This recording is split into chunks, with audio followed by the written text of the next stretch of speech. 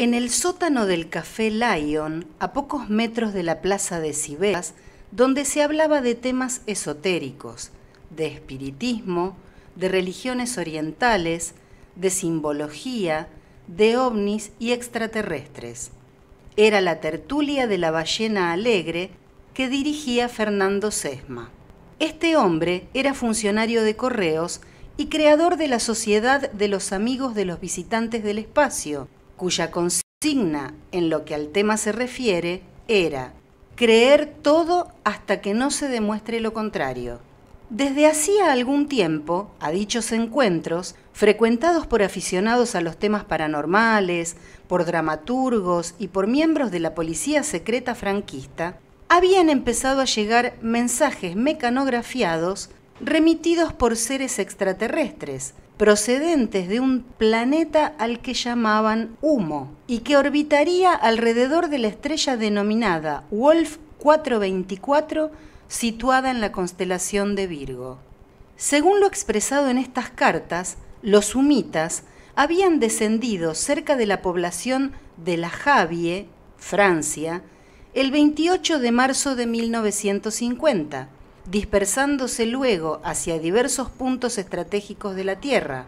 Este grupo expedicionario recién estuvo listo para entrar en contacto con la humanidad 15 años más tarde.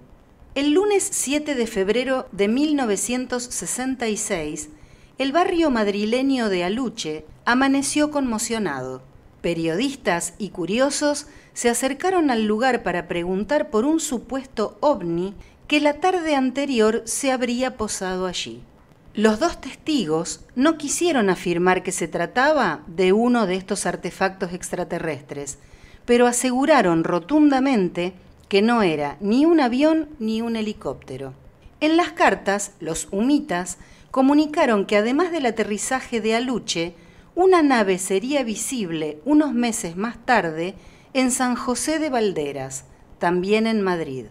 Entonces, el 10 de junio de 1967, efectivamente apareció una. Y si bien los medios hablaron de que fueron varios los testigos, habían sido solamente dos. Uno de ellos era el mismo del suceso de Aluche, y que luego acabaría siendo vicepresidente de la Sociedad Española de Parapsicología, José Luis Jordán Peña. Pero volviendo a Fernando Sesma, un ser llamado Saliano le enviaba correspondencia, como también le hacía llamadas telefónicas al bar. Este extraterrestre sonaba muy parecido a cuando un humano habla de forma monótona tapándose las fosas nasales. En estas cartas, que fueron aproximadamente un número de mil, y que eran remitidas desde distintos lugares geográficos como Francia, Inglaterra, Rusia, Italia o Japón, ellos compartían sus conocimientos científicos, hablaban de su planeta, de su cultura, de su espiritualidad, e informaban que algunos convivían con los humanos. Con el tiempo empezaron a aparecer hombres que decían haber sido abducidos y tratados con sondas anales, y como fenómeno social tuvo otras consecuencias terribles como la aparición de sectas. Eduardo González Arena, al que llamaban Eddie, crea Edelweiss, algo que empezó como un grupo de niños que acampaban en la montaña, pero a los que fue sumergiendo en la creencia de que vendría el fin del mundo y ellos eran los elegidos para que los humitas los rescataran. Sus valores eran amor, justicia y libertad, pero la realidad era que los estaba entrenando física y psicológicamente dentro de un contexto militarizado. Al mejor estilo del juego del calamar, los echaba a correr por el bosque mientras al grito de alerta uno de los líderes les disparaba con una escopeta de perdigones. La mayor aspiración de estos niños de entre 10 y 12 años era llegar a ser guardia de hierro, y esto implicaba dar la vida si era necesario para proteger a Eddie, que se autoproclamaba como el príncipe Alain del planeta Delhais. Les enseñaba a hacer viajes astrales y los hacía jurar que no iban a contar a nadie lo que hacían. Tenían que ser leales a riesgo de ser expulsados. Y para demostrar su adhesión a la secta, se obligaba a los niños a marcarse a fuego, cual ganado vacuno, el símbolo humita debajo de la axila. Había tal hermetismo que llegó a formar un grupo de espías internos y ninguno sabía quién era el que lo estaba vigilando. Pero la prueba suprema de lealtad resultó ser que los niños eran llevados a una casa y Eddie, junto a su lugarteniente, abusaba de ellos. En 1991 fue condenado a 168 años de cárcel por 28 delitos de corrupción de menores, de los cuales solamente cumplió 6 para luego retirarse a Ibiza y poner un bar. Sin embargo, el 1 de septiembre de 1998, una de sus víctimas, Joan M.G., le seccionaría la yugular. Por otro lado, acá en la Argentina, entre 1973 y 1976, se montó un hospital se trataba de la planta de investigación científica argentina internacional de neurología, y allí se utilizaba presunta ciencia extraterrestre del planeta Humo. El sitio estaba en un campo a la vera de la Ruta 3, kilómetro 77, en la localidad de Cañuelas. Hacia finales de los años 90, el periodista Manuel Carballal, que colaboraba en una revista relacionada con la Guardia Civil, contactó a Jordán Peña y éste, creyendo erróneamente que Manuel era un miembro de la fuerza, aceptó reunirse y confesó que él había sido el inventor de todo ese caso ufológico. En aquel momento dijo, he sido el autor de Humo, un experimento que hice para estudiar la credulidad del hombre, pero se me fue de las manos. Fue un error mío. Estoy arrepentido. Mi intención fue hacer creer que existía un grupo de extraterrestres que habían llegado hasta Francia y desde allí se extendieron a España, Sudamérica y otros lugares. Los creyentes eran libres de creer o no. Lo que pasa es que con el tiempo algunas personas se fanatizaron y lo convirtieron en una secta. Una cosa que no era peligrosa, la hicieron peligrosa. Este informe pudo realizarse gracias a videos de TVE en YouTube, a la nota de Marcelo Metaller de la agencia DIV sobre el Hospital de Cañuelas, a los aportes de Alejandro Agostinelli y de la página de Facebook de Gema Lozano. Demonios. El canal sobre el fenómeno ovni de Carlos Alberto Yurchuk. youtube.com barra demonios.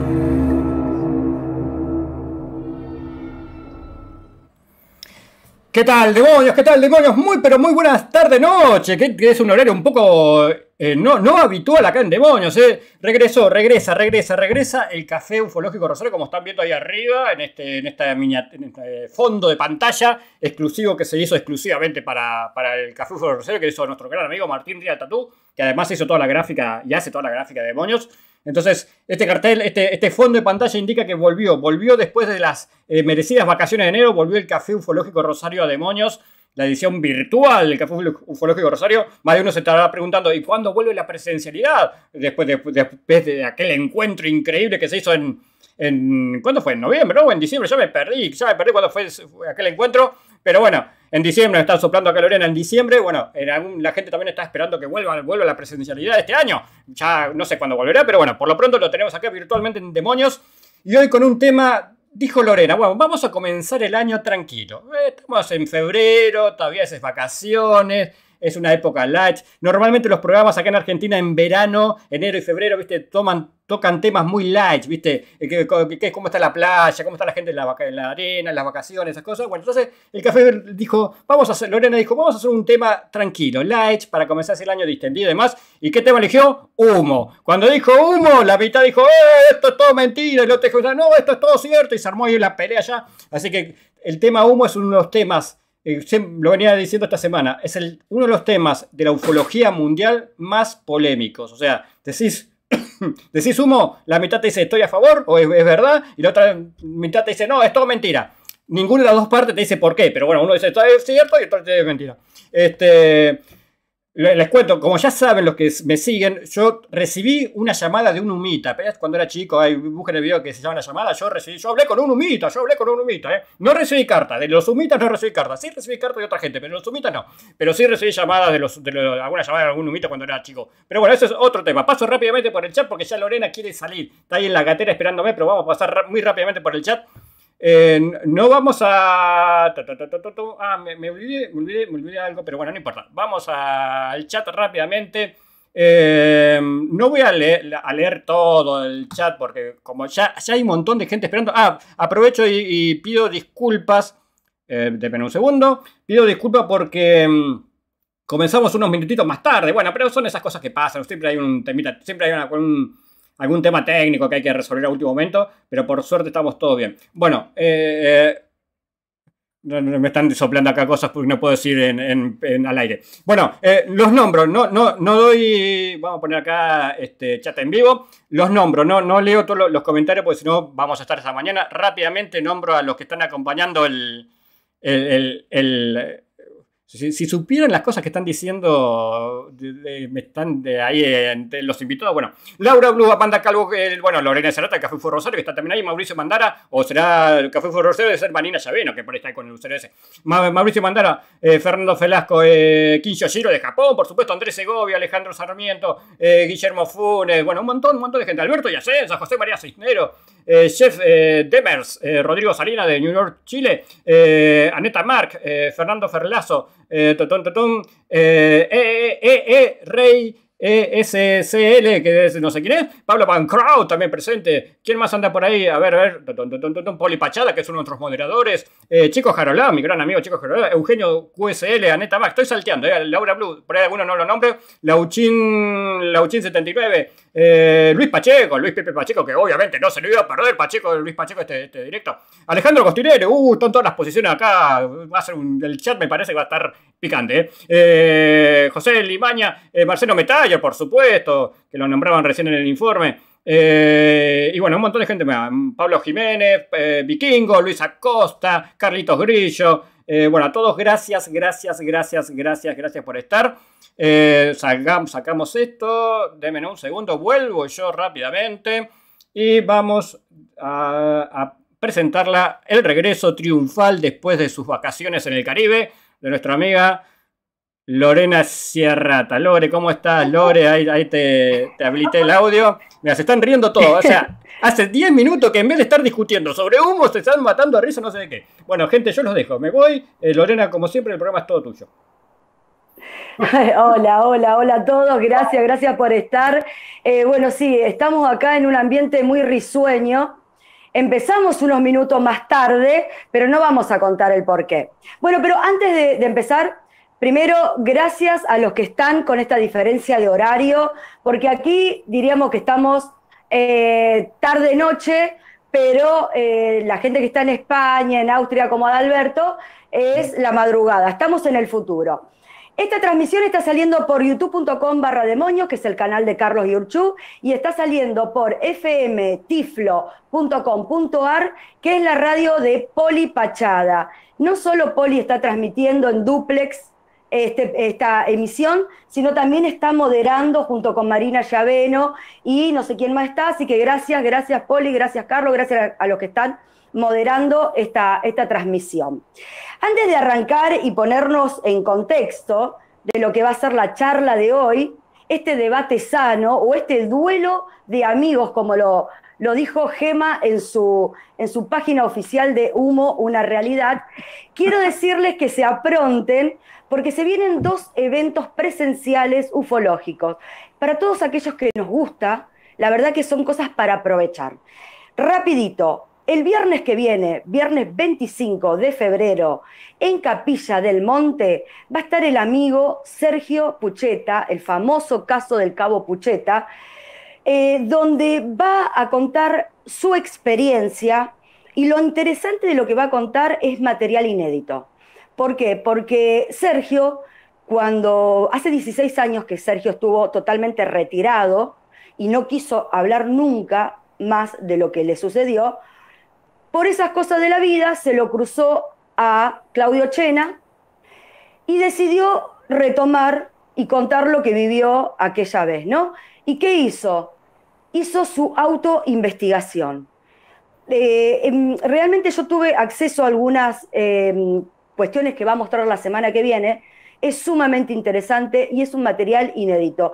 Todos aquellos que tienen pensado hacerse una escapada por el fin de semana largo de carnaval, que aquí en Argentina es feriado, si pueden, vayan a Capilla del Monte, bar El Patio, donde va a estar Sergio acompañado por, por, por Chena, hablando de su experiencia.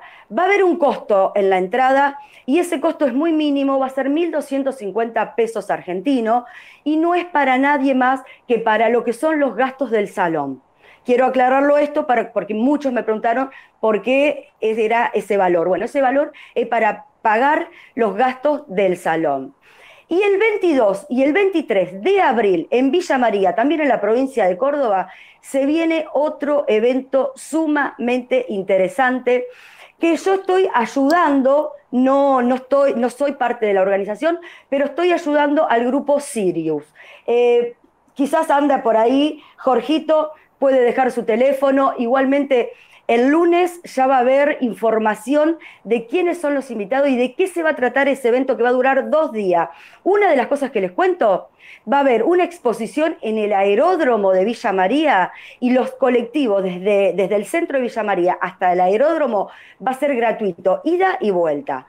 Em, y el evento, eh, la oratoria que va a ser el día sábado, totalmente gratuito. Eh, nada, vayan agendando, ya va a haber información y va a haber un invitado de lujo. No puedo decir más que esto porque me dijeron que no dijera más nada. Así que el lunes ya va a haber información. Ahora sí, eh, Planeta Humo. ¿Por qué elegí este tema?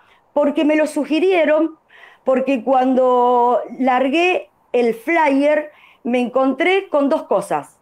Lo que dijo Carlos al principio, eh, veredas opuestas. La mitad que era un fraude, la mitad que era cierto. Cuando yo preguntaba a cada uno que me explicara por qué era real o por qué era mentira, como que nadie tiene un argumento válido. Me encontré también con las generaciones nuevas, como soy yo, dentro de la temática Omni, que no tenemos mucha información de este tema. Y veo que es un tema que sigue siendo muy controversial.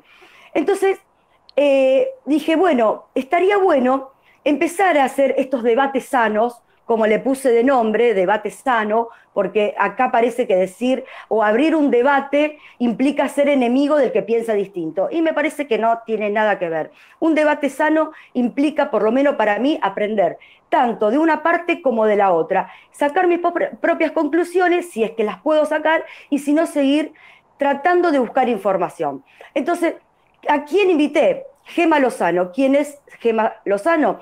La persona que considera que el tema es real. Y Adalberto Ugvari. ¿Quién es Adalberto Ugvari? La persona que considera que el tema tiene muchas más aristas que decir que es fraude o que es realidad. Me encontré también con un Adalberto que era muy conocido en nuestro país. Eh, Gema es madrileña, y Adalberto es argentino viviendo actualmente en Austria, pero que ambos hace 30 años por lo menos que dedican lo que es su investigación al planeta humo. Desde ya les digo, tengo un montón de preguntas que me han pasado por privado. Va a quedar el tema súper corto, súper corto. Eh, quizás podamos hacer en el futuro otro, otro, otro programa. Vamos a ver, yo me voy a dejar sorprender igual que ustedes y la idea es que lo que diga Gema, qué piensa de Alberto y lo que dice Alberto, qué piensa Gema. Chicos, bienvenidos. No, ellos no paran de reírse, no paran de reírse. Chicos, bienvenido. Vamos a darle primero a Alberto lugar a Gema para que se presente. Muchísimas gracias, Lorena. Eh, muy buenas noches, buenas tardes. Allí en Argentina, Alberto, encantadísima de nuevo volver a verte. Y Lorena, agradecidísima de tu invitación a este programa y a esta charla que va a ser bastante distendida. Eh, quiero hacerte una matización simplemente. Yo no estoy del lado estrictamente de los que creen en la realidad.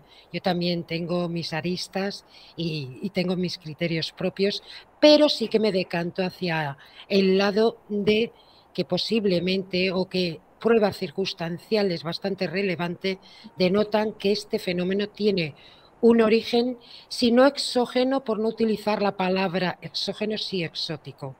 El origen de este fenómeno sí que tuvo, sí que es extraño y, ciertas pruebas avalan que pueda ser de origen extraterrestre.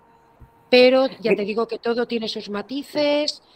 Eh, luego iremos viendo a lo largo de la charla que en los sucesivos años y la incorporación de ciertos personajes o ciertos protagonistas en esta historia ha derivado en derroteros nada, que nada tienen que ver con el tema humo, como hemos visto en el principio de, de esta entrevista, en el vídeo que ha insertado Carlos. Entonces, por esas motivaciones, pues claro, he aquí una divergencia entre lo que puede ser real del fenómeno humo y lo que puede ser eh, manipulación pura y dura de, personas muy terrestres con fines un poco oscuros. Sí, totalmente de acuerdo. Eh, eh, tengo que agradecerle como siempre a Marina Llaveno, quien es la que, es la que hace los trailers, los flyers y la, y la que hizo ese informe que decidimos hacerlo de esta manera controversial como para generar y ver un poco más allá de la cuestión solo de las cartas o de los tweets. Adalberto, ¿Querés presentarte? No problema. Si querés, no problema. Uh, en el principio, en el principio, el, mi primer, mi primer, uh, digamos, uh, contacto con humo fue el, el, caso perfecto. El libro, el caso perfecto. En su momento, Plaza Canés lo publicó y yo lo recibí en Argentina en el año 78, creo. 78, 77, 78. Me pareció una cosa fascinante. Me pareció interesante. En aquella época yo tenía mucho contacto con Ignacio Arnaude en Sevilla y tuvimos muchísimas discusiones con él. Uh, lo hablé, lo hablé en su momento con, con como dice Espinita, como dice mi amiga Espinita, uh, Ah, el, cura maldito, el cura, maldito, el, um, Salvador Feixedo. Salvador Feixedo. Y eh, lo hablamos con ellos y lo hablé con Espinita también, con, uh, sí, en Ecuador y ah, estamos discutiendo el tema hace ya 30 años, más o menos, más o menos. Y lo que siempre me impresionó mucho del tema este es el contenido, el contenido. Por eso digo que la, presunta ah, autoría de ah, Montejo, Montejo, Montejo, en Madrid, Madrid Ah, es, no, eh, lo veo como una cosa absolutamente difícil. Difícil porque... Jordan, Peña, querrás decir, ¿verdad? Jordan Peña, Perdón, Jordan Peña, sí, Jordan Peña. Ah, es un material demasiado complejo como para que lo haya podido hacer Jordán solo. Esa es mi opinión personal. Hay algo que tiene que haber detrás de todo esto. Esto incluso lo discutimos con Farriols en, en Barcelona.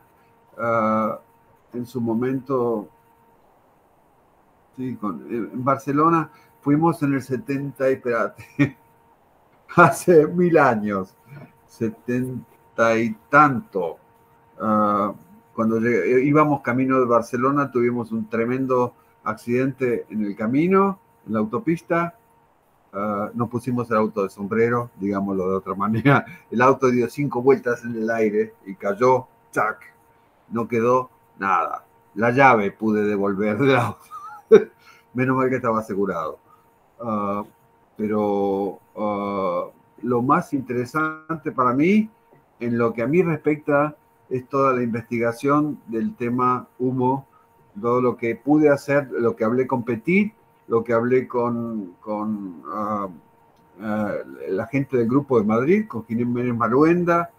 Ah, es, lo que me fascinó siempre y como te dije, Lore,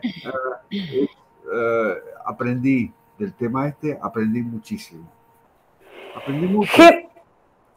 ¿Mm? Eh, eh, eh, em, eh, cuando, usted, cuando vos decís ah, aprendí mucho es en relación al contacto que has tenido con los investigadores. Sí. Gema, Gema, para, para, ponernos en, foco de lo que es humo, ¿cómo, cómo nace esta historia del, del planeta humo y qué te lleva a vos, porque eras muy joven, a involucrarte. ¿Cómo, ¿Cómo es el contexto de lo que es el planeta humo desde que empezó y más o menos hasta la actualidad? ¿Cómo se va gestando? Adalberto, cuando Gema diga algo, si, si tenés ganas de, contribuir con alguna reflexión, de eso se trata esta, esta, esta charla.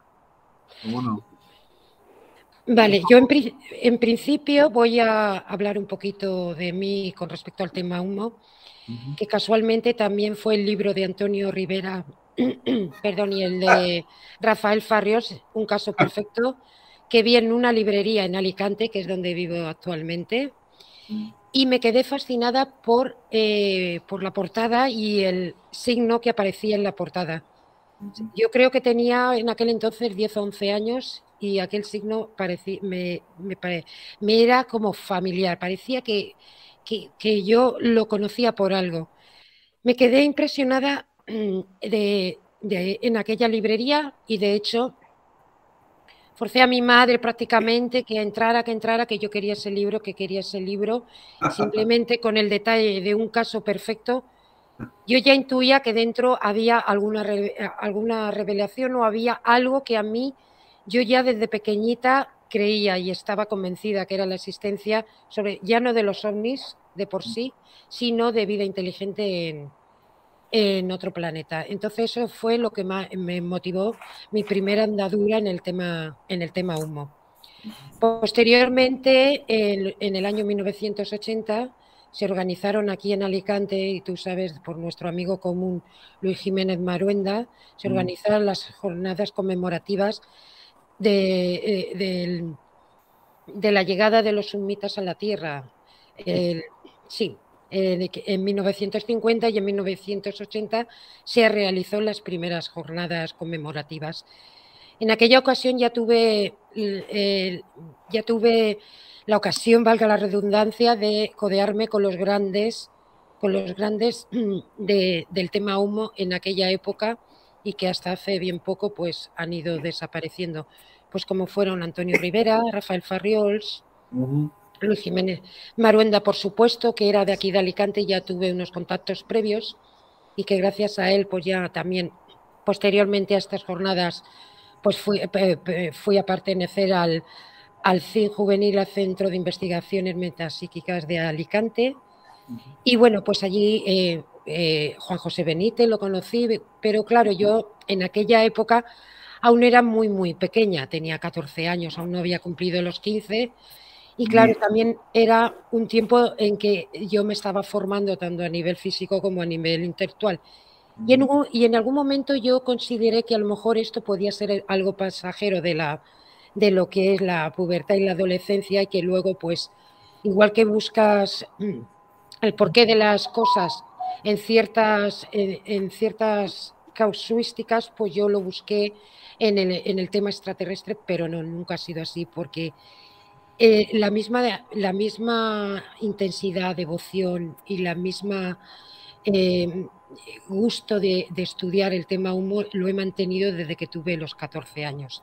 Con lo cual, esto no es efímero o es algo que, que digas que es cuestión de juventud y que al llegar a la madurez por el devenir de la, de la vida misma o porque tu vida cambia, terminas tus estudios, proyectas tu carrera personal y profesional, pues a lo mejor se queda en un stand-by, pero no.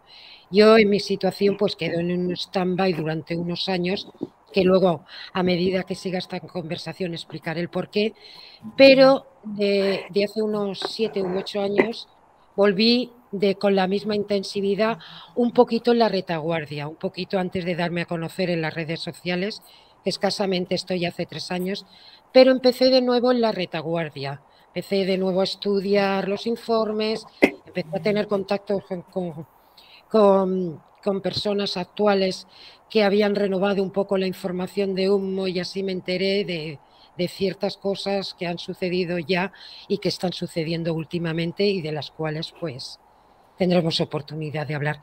Pero lo que tengo que... Antes, Gemma, dijiste algo que a mí me llamó mucho la atención recién. Cuando tenías 10, 11, 12 años, eh, viste por primera vez el libro y dijiste que el símbolo te era familiar. ¿Qué? No sé por, qué? No, lo sé. Simplemente de eso, de eso que, que, lo ves y dices, esto yo lo he visto en algún lado, anteriormente a esto. No me preguntes por qué. Como referencia te puedo decir a lo mejor que de pequeñita yo vivía en Madrid, me vine a Alicante a los siete años, de muy pequeñita tuve un encuentro a muy corta distancia con un objeto volante, sí, como de aquí a unos seis, 7 metros de distancia y a una altura máxima de unos 10 metros tuve un encuentro con un objeto anaranjado que luego se tornó un poquito como metálico y luego rojo y ya no, no recuerdo nada más. Quizá pueda haber una asociación entre eso y aquello. No lo sé nunca. No lo sabré. Puede ser que lo sepa o puede ser que no. Pero yo tenía claro una cosa. Yo cuando vi el libro de Rivera en aquella librería de Alicante, eh, la portada y, el símbolo del H curva abierta en los extremos con la barra vertical y horizontal, para mí eran conocidos. Es que incluso mi reacción fue decir, uy, esto, como solemos decir aquí, esto me suena, para mí esto es familiar. Y descubrí a través de ese libro eh, el contenido, que era humo. Algo que, me, que por signografía me era familiar para que me estaban diciendo al micrófono. Eh, Adalberto, eh, vos, ¿cómo, qué, te impulsa eh, a, irte a buscar información directamente in situ para aprender, como decís vos, del tema humo? Esto es un poco para ponernos en contexto y saber cuáles fueron las motivaciones personales de cada uno hacia, hacia, hacia esta investigación. mi caso fue curiosidad, sobre todo curiosidad. Como decía, decía Gema hace dos minutos, eh, curiosidad, más que nada. Y además eh, tenía ganas de aprender de la gente que sabe más del tema. Y por eso fui a Barcelona, por eso fui a Madrid, por eso fui a los Alpes franceses y no, por eso me subí a la montaña que describen los, los presuntos humitas en las cartas para detectar, por ejemplo, es una de las cosas, lo hicimos nosotros y no lo hizo nadie. Eh, eh, tratamos de encontrar el lugar que describen en uno de los informes, que desde ese lugar donde aterrizaron se veía una iglesia en la Yaví. Eh, tratamos de encontrarla no la encontramos. No la encontramos, lo cual no quiere decir que no exista, simplemente quizá no la encontramos. Pero ah, es algo que es, fue solamente curiosidad. Curiosidad, tratar de aprender. Eh, y por esto me puse en contacto con M. Michel en, Francia y con, y con Jean-Pierre Petit Ah, y prácticamente no, hubo, no había ninguno que dijese de entrada que el tema de humo era falso. Ninguno. Eh, Efectivamente. yo les mostré. Y muy buena anotación que has hecho de mí, de Michel, sobre todo de él, efectivamente. Les mostré los informes a Petit y estaba eh, fascinado con el tema este. Y este hombre es uh, una, es uno de los jefes, eh, o era uno de los jefes del Centro Nacional de Investigaciones Científicas en Francia, o sea, ningún tontito, se puede, no, se puede hablar de él como tonto, ah, y estaba fascinado con esos informes, con alguna de las partes de los informes.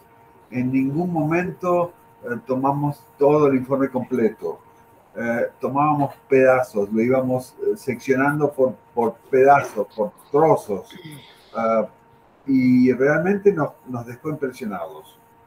Adalberto, igual que, igual que los que recibieron los informes a principios de los años 60 aquí en España, ninguno era tontito, porque estamos hablando de ingenieros de telecomunicaciones, estamos hablando de psiquiatras, estábamos hablando de ingenieros químicos, con lo cual mayoritariamente los receptores de los informes sumo en el inicio de este tema, pues todo eran personas avaladas con una carrera y un, y un, tramo profesional importante. Sí. Y, ah. sí. Ay, ay, Gema, ¿cómo fueron las primeras cartas? ¿Qué contenido y a quién le llegaron las primeras, las primeras? Bueno, eh, atrás. Eh, pues estamos hablando que tengamos constancia, aunque están, Puede ser que esto sea bastante anterior y que sea a nivel globalizado el tema humo y que simplemente en España fue eh, eh, la, eclosión del fenómeno humo cuando ya estaba perpetrado a nivel mundial. Esto tiene, esto tiene una respuesta que ya luego iré explicando. En España eh, surgió, como bien sabéis y, habéis visto en el vídeo, a través de, de, una correspondencia que recibió, la primera persona que la recibió fue Fernando Sesma. Fernando Sesma era muy proclive a hablar de, los extraterrestres, inclusive anterior al tema humo, él eh, decía tener contacto con otros seres extraterrestres y de hecho al grupo que fundó denominado Amigo de la Sociedad de, los, o sea, la Sociedad de Amigos de los Visitantes del Espacio se llamaba Burú en relación a un supuesto planeta también habitado, por eso el nombre de Burú.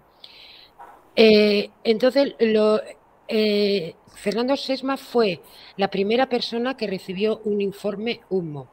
Y si mal no recuerdo, fue en febrero, a, principios de febrero de 1966. Justamente este el 7 de febrero. Eh, vamos a ver, no. A principios de febrero de 1966. creo que fue del 7, sí, el 7 al, al 10 de febrero porque luego hubo un, posterior informe anexo a este primero que nunca se ha publicado en Internet.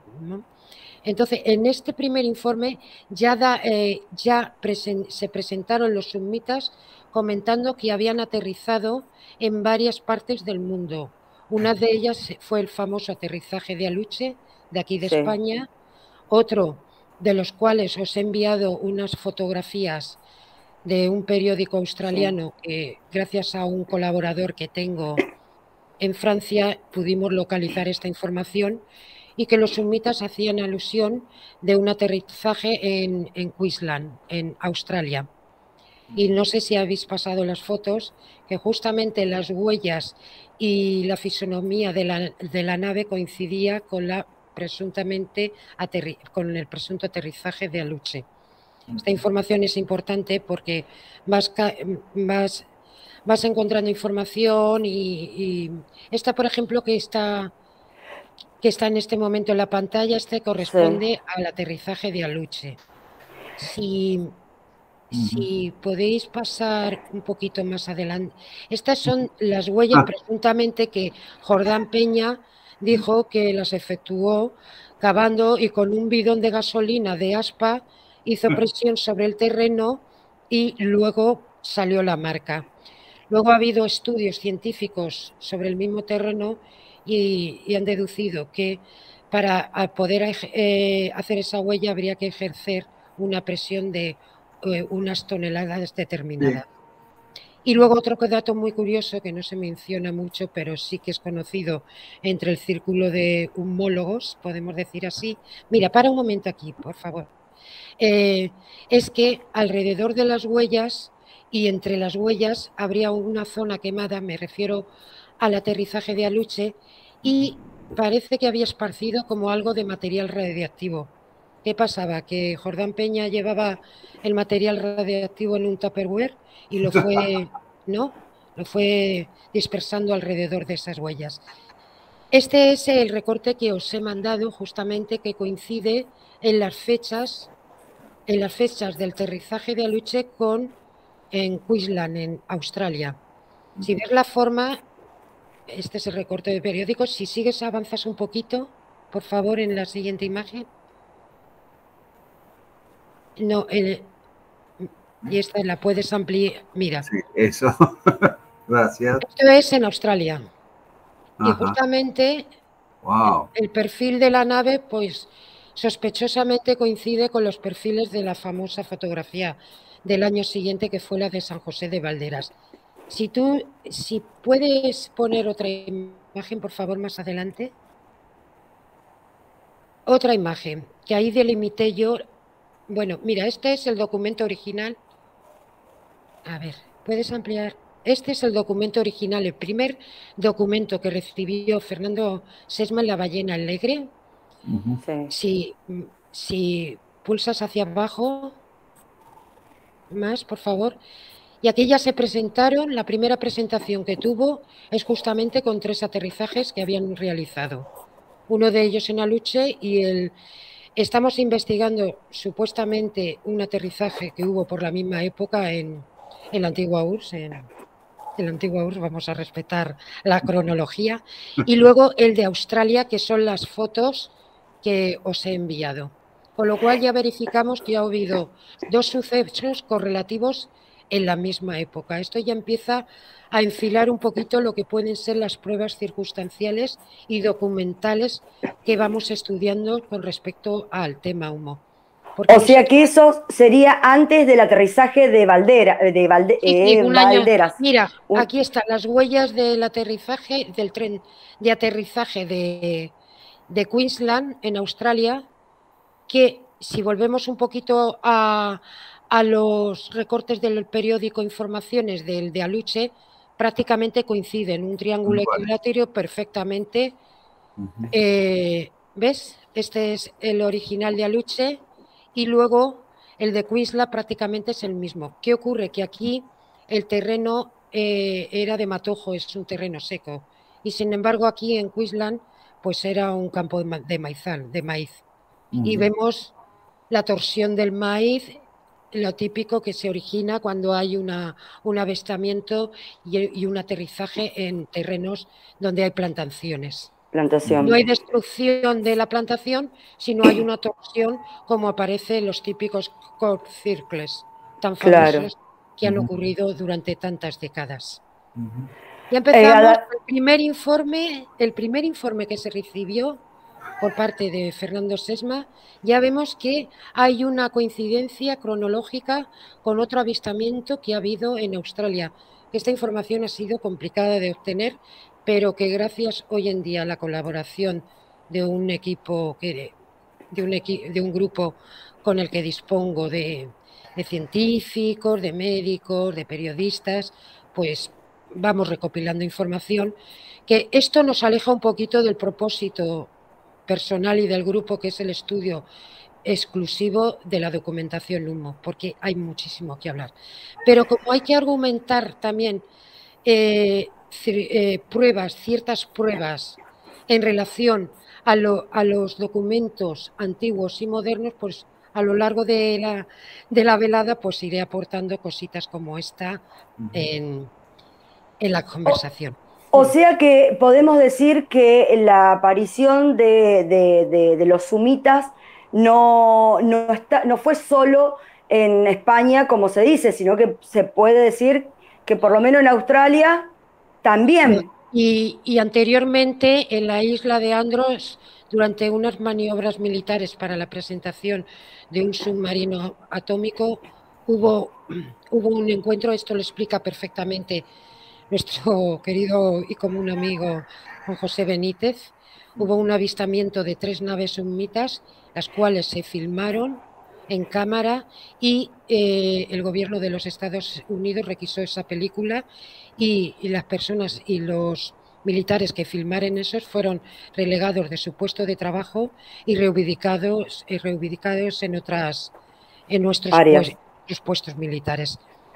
Eh, El eh, Gema, cuando, de- sí. Hablando Cuando- de pruebas, pruebas Eh. concretas, concretas, ¿qué pasó con los tubitos famosos que se encontraron en España y se hicieron a- analizar y tenían una concentración de níquel? Aquí es que hay dos tubos, es que hay dos.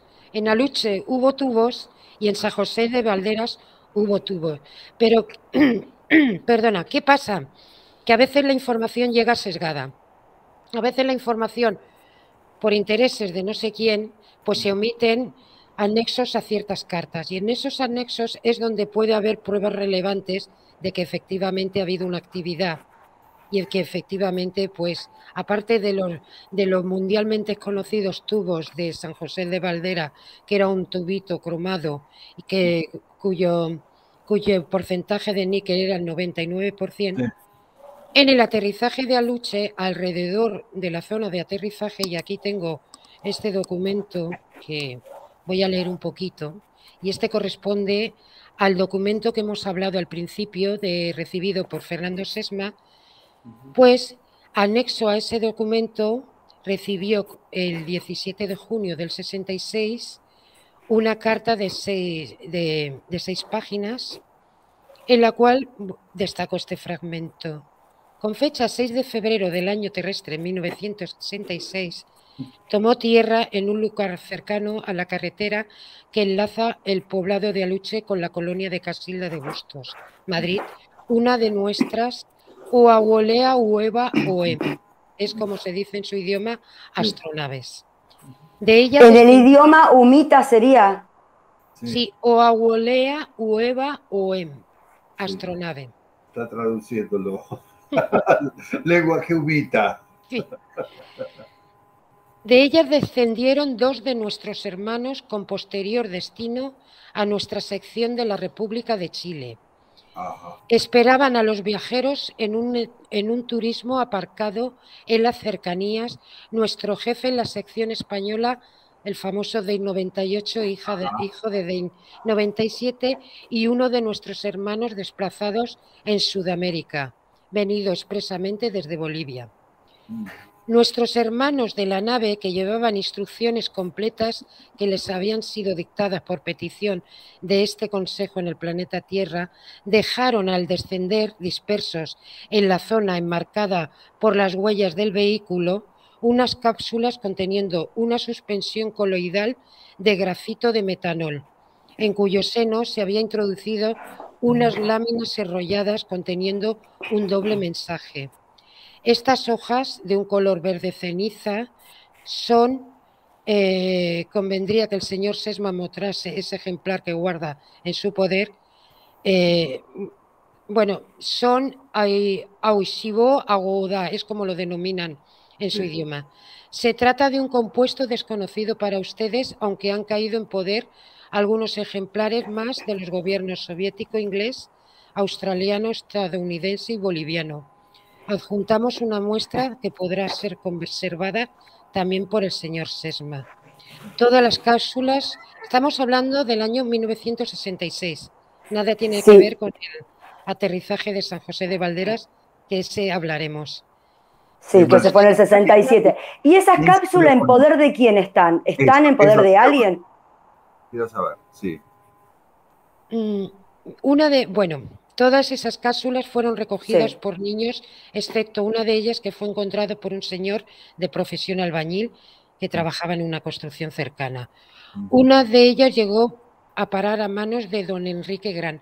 Enrique Gran era uno de los históricos de la ballena alegre que, Ah, que- y, y artista de profesión. Y los sumitas, bueno, pues le invitaron a una reunión, quizá para hablar de esas cápsulas o quizá para devolver. Nunca más se ha, se ha sabido de estas cápsulas. Simplemente especificaron que las independientemente encontradas por los niños, una, llega- una llegó a, una de ellas llegó a poder de Fernando Sesma, que no se sabe nada de ellas. De los niños poco podemos saber porque a lo mejor incluso jugaron, las tiraron. Y otras las recibió eh, este señor, Enrique, don Enrique Gran, y tampoco sabemos de ellas. La que sí sabemos es la del año 67 porque llegó una de ellas a poder y sobre todo eh, y sobre todo el tema de la lámina llegó a poder de nuestro amigo común Rafael Farios, pero de esta hablaremos.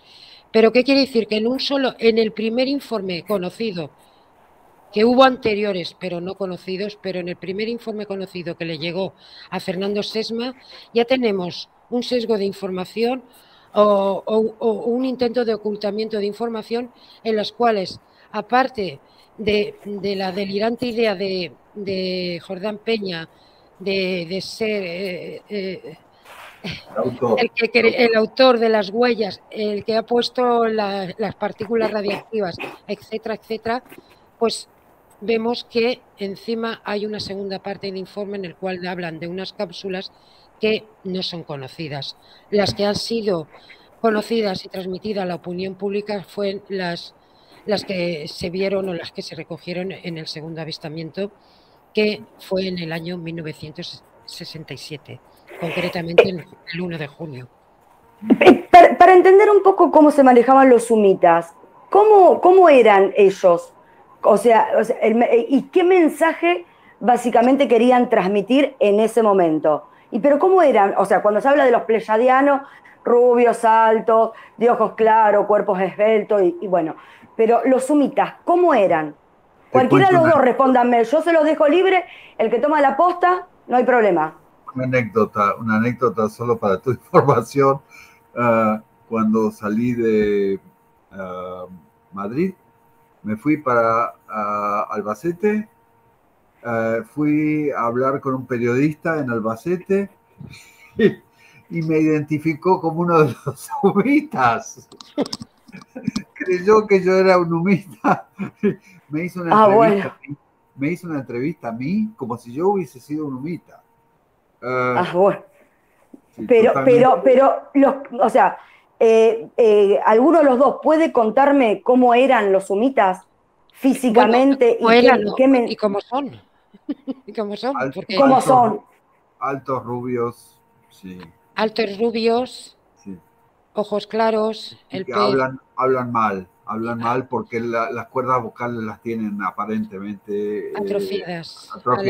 A, partir de los 14 años sufren una, una atrofia de, la glotis y entonces pasan a, comunicarse telepáticamente.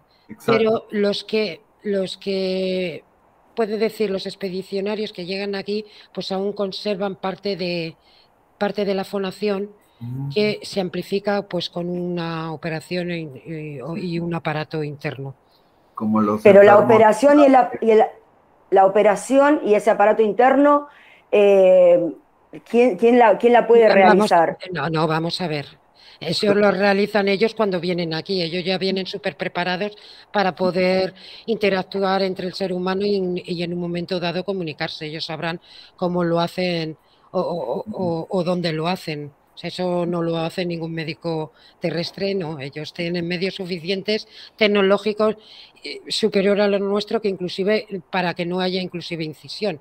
Simplemente con nanotecnología a lo mejor puede suplir el tema de, la falta de voz con esta tecnología. O sea, pero en aquella época sí, en los años 60 sí que nos comentaron pues que, se introducían o bien por operación o pegado aquí a la zona de, la garganta, pues un aparatito para amplificar, para que le servía de amplificador. Un laringófono. Sí, parecido a un laringófono. Parecido que ha creado mucha controversia también, porque se decía que si eso se había descubierto en un año, en otra. Hay una famosa llamada grabada de los sumitas en casa de Francisco Donís, la de no formulen preguntas, que ha creado también muchísima controversia, pero... Creo que todo el tema humo genera controversia. Todo el tema humo genera controversia porque aunque creemos que estamos muy preparados, no aceptamos la realidad. No aceptamos la realidad de que una raza extraterrestre esté eh, conviviendo con nosotros y no aceptamos la realidad hoy por hoy de que puede haber un contacto oficial, porque tenemos miedo. Primero por, por, el silencio que hay. Tenemos miedo, no te hablo porque, porque vayan a ser negativos o porque nos vayan a hacer algo. No, tenemos miedo a enfrentarnos a los cambios El ser humano siempre que ha habido eh, que enfrentarse a algún cambio drástico en su vida, ese cambio, ese, ese status quo, ese bienestar con el cual estamos conviviendo o mal o, no, o mal denominado bienestar, porque yo considero que hoy en día el bienestar es relativo y está infundado en, otras mascaradas que nos quieren hacer ver, pero eh, tenemos verdaderamente, si no miedo, sí un poquito de controversia y un poquito de, desarraigo a, los cambios. Estamos muy cómodos siendo el centro del universo aún, estamos muy cómodos a no admitir cambios en nuestra vida, a no tener que decir, oye, voy a salir mañana, va a haber un contacto oficial, qué es lo que van a proporcionar, lo que podemos proporcionar, ¿no?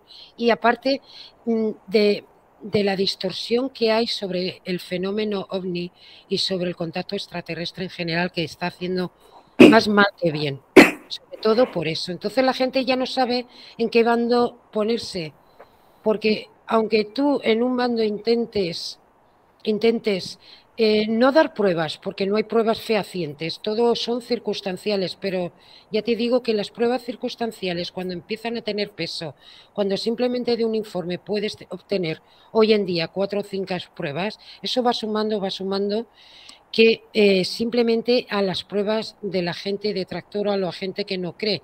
Porque esa gente detractora y que no cree se basa en unos estudios que han hecho hace 25 o 30 años, pero no han evolucionado, se han quedado ahí. Se han quedado ahí. Ah, ah, ahí, eh, hiciste, foco en algo que también me motivó, a, como lo dije al principio, a, tratar de, traer este tema a la palestra.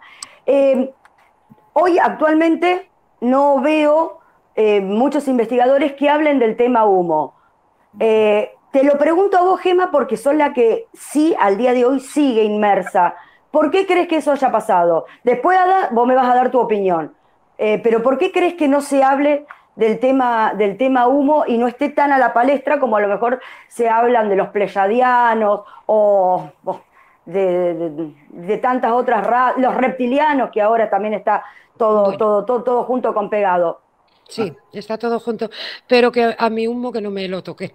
Yo no quiero. No, seguro. quiero decirte que el símbolo, el símbolo humo, esa H es muy bonita. Realmente es muy bonita. No, no te lo comento porque sean, eh, no quiero mezclar el tema de pleyadanos, reptilianos, eh, etcétera, etcétera, con mi máximo respeto a la gente que difunde este tipo de información, con mi máximo respeto, porque cada uno tendrá sus creencias, sus ideas, por qué difundir esta, este tipo de información. Y no me gustaría mezclar el tema humo con, con, otras entidades, porque el tema humo es, es único y genérico, o sea, tiene su propia esencia. La forma, la forma de, informar o la forma documental de un monadeo tiene que ver con el mesianismo de ciertas razas extraterrestres o ciertas formas de, darse a conocer utilizando a lo mejor temas mediúnicos, telepáticos, escritura automática. Esto no ha ocurrido con el tema humo. El tema humo nos hemos basado en documentación escrita que se inició en los años 60, que ha tenido un periodo en stand-by y se reinició hace muy poco tiempo y ahora parece ser que va a estar en otro periodo stand-by eh, hasta en un año determinado. Con lo cual, con todo, siempre, con todo mi respeto, siempre, siempre. El tema humo es genuino y para mí es único. Todo lo demás, para mí, desde mi punto de vista y con respeto, es sucedáneo de humo. Tienes la eh, recopilación de documentos Mm. Así, un libraco grandote, grande, con tapas rojas. ¿Eso lo recibiste alguna vez? Eh, eso lo recibí, pero por desgracia tuve... Contá qué es eso para que la gente sepa qué es ese librato, que librazo que dice Adalberto. Ese es el de, ese es el de Farriols. Ajá. Ese es el de Farriols. Por desgracia tuve un incendio en casa y perdí mucha documentación y muchos libros. Pero bueno, Gracias también amigos eh, eh, totalmente desinteresados, como es mi amigo Moisés y Claudia. Ellos me han ayudado muchísimo a recopilar información, los que más me han ayudado y aparte otras personas y he ido recopilando, recopilando. Y creo pues que del volumen de Humen pues ya tengo recopilado de, de lo que es del año 1966 al 93, entre paréntesis, tengo un, un 80%. Pero me falta... Me el, falta hizo, el que hizo el mejor catálogo fue Ignacio Darnaude. el Humocat de Ignacio de efectivamente. Eh, eh, eh, ah, para ponernos en, en- en línea, ¿cómo fue la etapa humo en cuanto a, a- a estar vigente? ¿Cómo, ¿Cómo fueron esos años? ¿Cuáles fueron los años en donde la actividad humo se vio más reflejada? Y quiero que me cuentes un poco, eh, vos Gemas has tenido contacto con aquellos que han recibido carta, ¿no? Eh, bueno, eh, hemos tenido contacto como Adalberto también ha tenido contacto. Por con- eso. Quiero, Eh, qui- quiero que, que ambos, yo cuando le doy la palabra, ustedes deciden quién habla. Adalberto veo que es un caballero y te da siempre la palabra a Bueno, pero por favor, que no conocen tu voz aún. Pero primero, la, pre- la pregunta esta, contéstenme, los dos. ¿Cuál es la etapa más fuerte de humo en el tiempo? ¿Cuáles fueron los años más candentes? Eh, en 70. información, 1966-1972. En información. Sí. Y Cuando hablas de información, es la información que los humitas, en documentación que serían Eh, las cartas. pura. eh, Ha habido cartas en todo este periodo. Ha habido algunos años que, que prácticamente mm, mm, no ha habido ningún tipo de documento, pero el grueso de humo fue en los años desde 1966 a 1973. Sí. Luego hubo un periodo que se recibía eventualmente alguna carta hasta el año muy activo, muy activo, que tú lo tienes que reconocer también, Adalberto, que fue el año 1988. Ese año fue muy proclive también en información, humo, y ahí puede que haya intercalado informes de la fuente con informes no tanto de la fuente. No. ¿Qué significa eso? Eh, Fabio Serpa, por supuesto que él también tenía que haber recibido el informe y siempre lo dijo que él recibió, él mismo recibió un informe, dice, dijo él, dijo él en su momento, no recibió un cuerno. El informe ver- sería que él, que, que algún humita hubiera hecho contacto con el señor. Exactamente. Él no podía ser menos, no podía ser menos. Entonces, él también recibió un informe, por supuesto. Sí. Lo dijo en el programa de televisión que tuvimos en los años 80 en Argentina. Igual que Salvador Fraisedo. Y No. Salvador, Fra- y Ah, Salvador ¿sí? Fíjate lo que te comen- fíjate lo que te cuento, eh, que él, sabes que el tema de los extraterrestres se lo atribuye a entidades demo- demoníacas. Ajá. Conoce, defendámonos de los dioses, etcétera, etcétera. Pues, a- aunque parezca increíble, Salvador Fraisedo dijo que el tema humo para él es genuino y real. Wow. wow. Eh, eh, eh, es un Era- tema que, Es la única, dice, palabras textuales de él, es lo único de la raza extraterrestre que me creo que sea verídica y real. Wow. El resto de razas me parecen que son todo demonios y bajo astrales que están jugando con el ser humano. ahí se mezcló la religión. Era muy todo junto. convincente. No, no, no tiene nada que ver con la religión. No, él, él era, él era jesuita, pero de hecho a raíz de escribir ciertos libros la Iglesia lo excomulgó y tuvo que Sí. salir. Él no ha mezclado eso más bien con conceptos ontológicos más que más que la religión.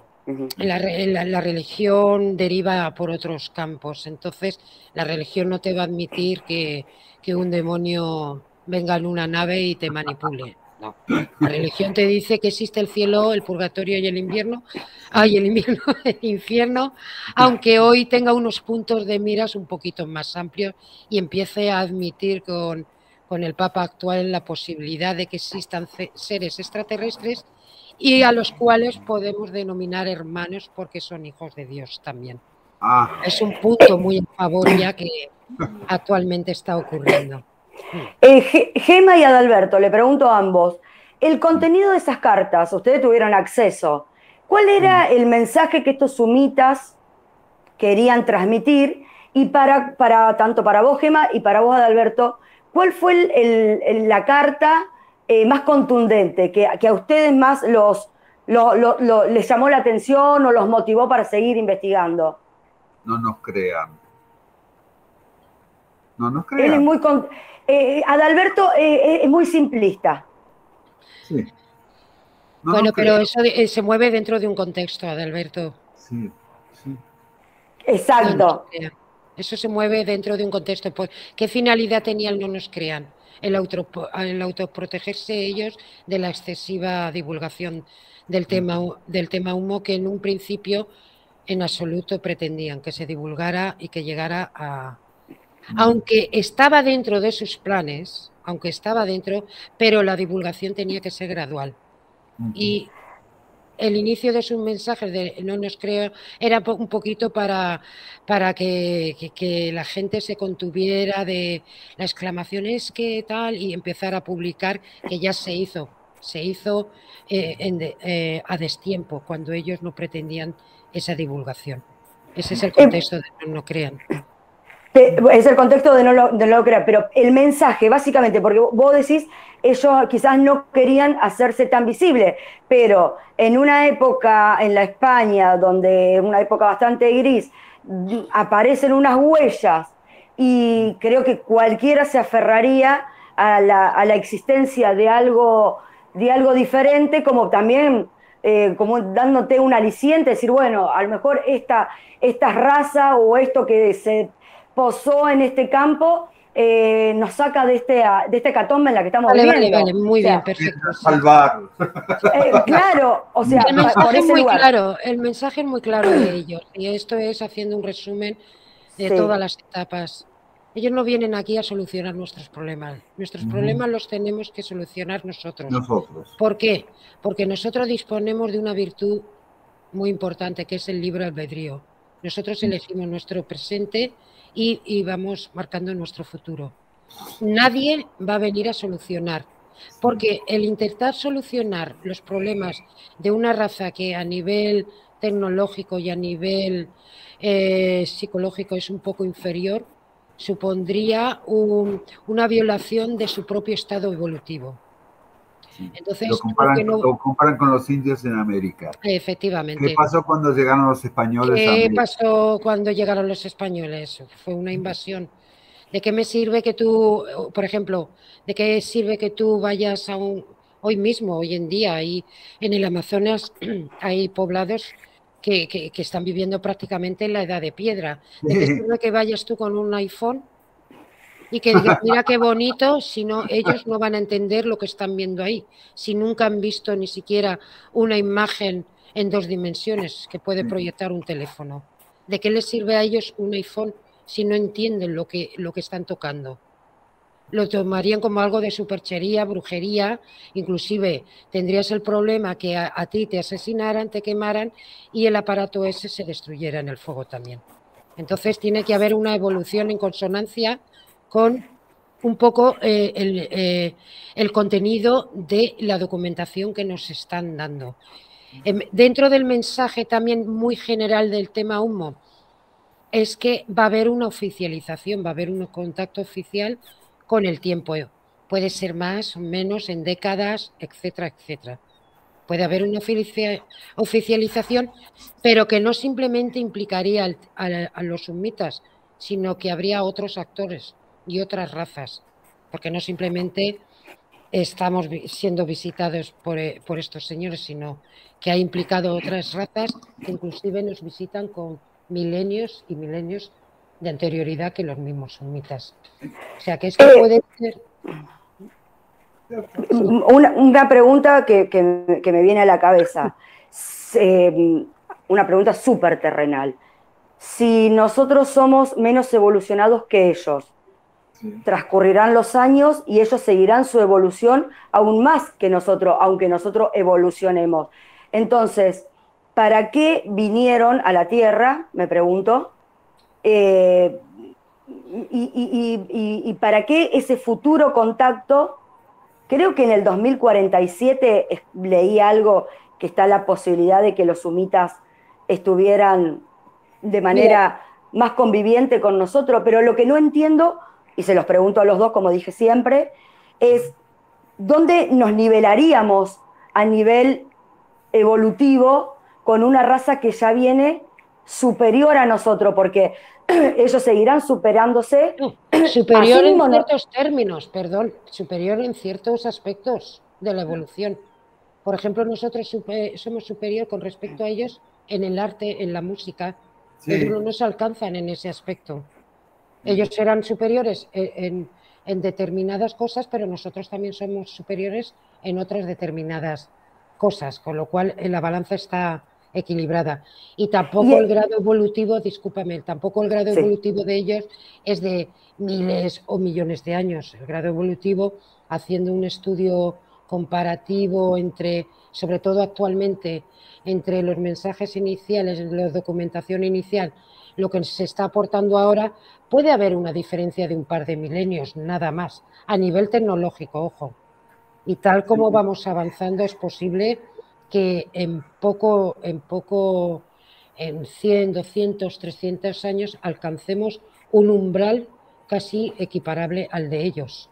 Porque la evolución que estamos teniendo en estos últimos 60, 50 años, de verdad que eh, eh, es exponencial, es, es una evolución, es exponencial, que no va incluso acorde con nuestra propia evolución psicológica y emocional. O sea que hay una disonancia ahí que tenemos que inclusive ir equilibrando. Y el mensaje de ellos es que de manera subliminal, de manera subliminal, pues nos están aportando pistas de cómo seguir una, nuestra propia evolución.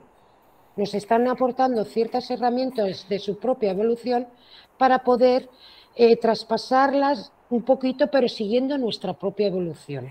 ¿Cuáles serían las herramientas, Gema, para poder entenderlo? Pues, por ejemplo, ellos desde el principio de los años 60 nos han hablado de la teoría de los ibozou. ¿Qué son los ibozou? Por ejemplo, pues ellos nos dicen que los ibozou es la componente primordial del universo, de naturaleza decadimensional, o sea que ya nos están hablando de 10 dimensiones y que ese Ibozou tampoco ocupa una posición específica en el espacio. Eh, el Ibozou, o sea, toda la materia, toda la masa, el rayo de luz, toda la densidad, o sea, todo lo que forma y de cualquier naturaleza, el inicio lo tiene esa componente primordial. La génesis. La génesis.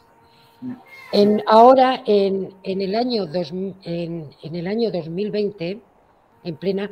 Te pongo este ejemplo que no se entiende muy bien, pero te voy a hacer una referencia a lo que ya nos hablaron en los años 60 y a un descubrimiento actual, descubrimiento teórico, ¿eh? que, no, que no, puede, no, es paradigma ni, ni, está comprobado, pero sí que hay un modelo computacional.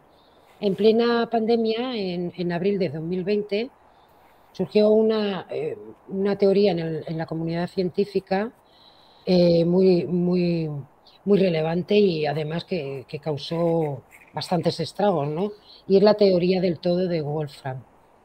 Y esta teoría lo que, lo que relaciona básicamente es la teoría de los sumitas de los Ibozou con los autómatas celulares angulares que utilizando esta, esta teoría se puede ir designando cómo es la composición del universo.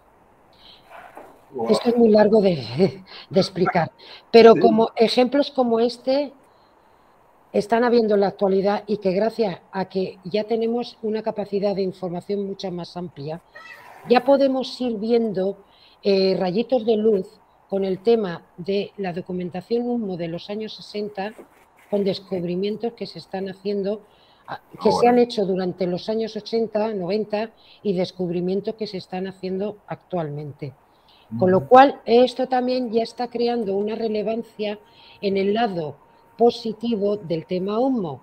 quiénes son esos dichosos señores que ya en los años 60 vaticinaron que había una partícula elemental que dependiendo de su proyección angular forma la materia o forma el tiempo o forma lo que sea, y ahora resulta que en el 2020 pues hay un señor que saca una teoría excepcional, que es la teoría del todo, y que relaciona los Ibozou con automatación. ¿Pero es comprobable esa teoría o está en pleno desarrollo? Está, en pleno desarrollo. Eh, vamos a ver, comprobable, comprobable. Comprobable, una teoría, se puede comprobar una teoría, pero para que sea eh, un paradigma o haya un cambio en ciencia hay que demostrarlo matemáticamente. Exactamente.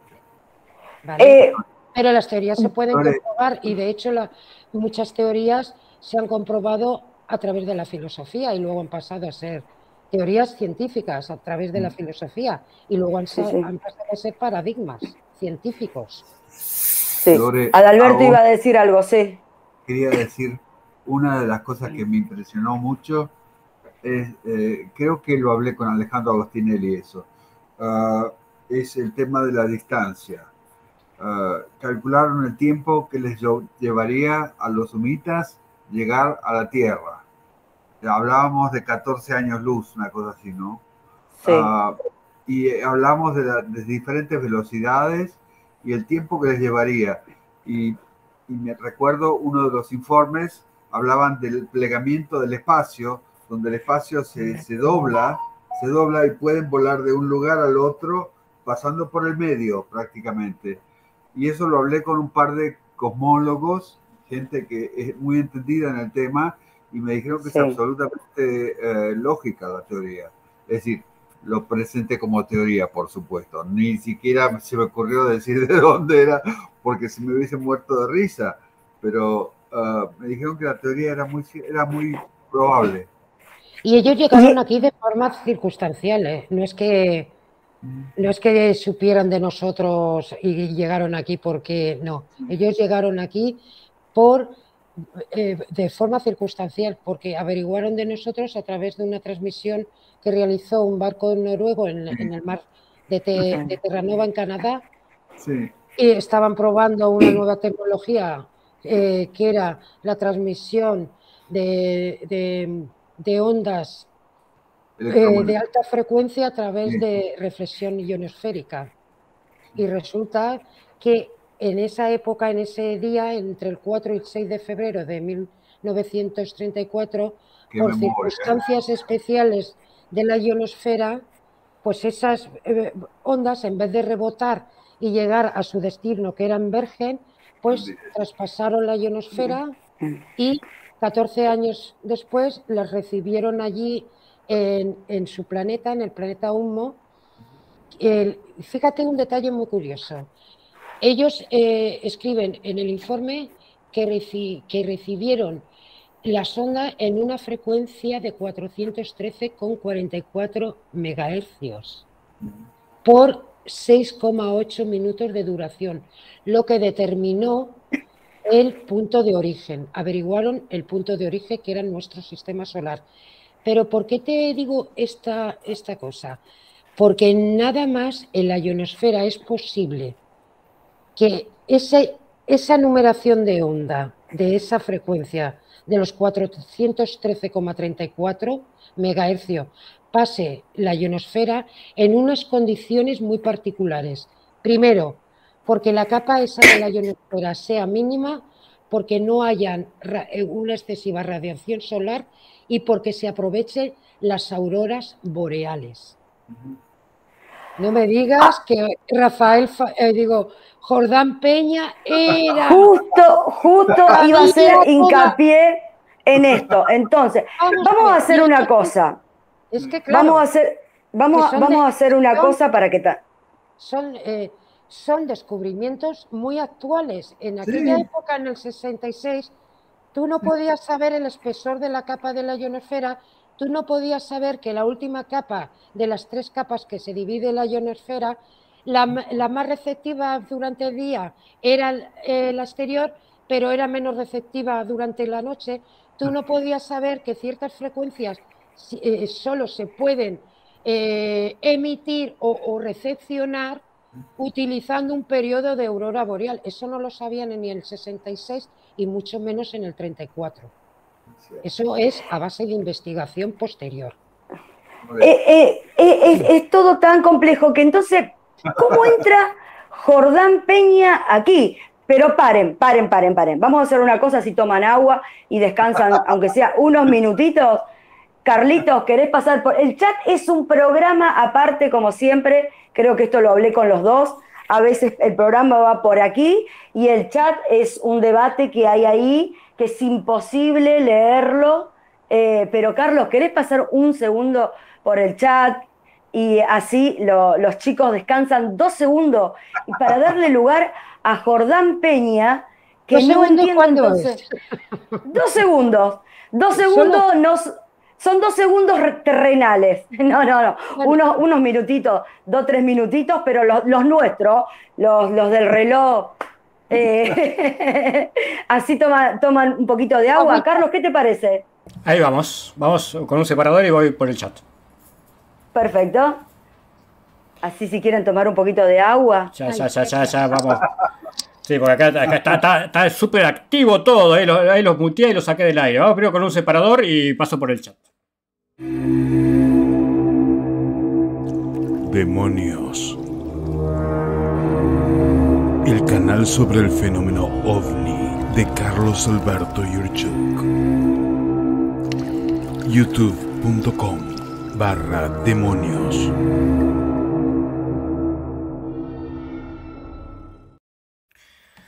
Muy bien, muy bien, muy bien. Paso rápida, rápida, rápidamente por el chat. La verdad que, está interesantísimo el tema, ¿eh? está muy interesante el tema. Hay muchos comentarios en el chat, eh, o como era de esperarse, gente a favor, gente en contra, gente que está en la, en la ancha avenida del medio, digamos, que no está ni para un lado ni para el otro, que dice que bueno, sí, pero...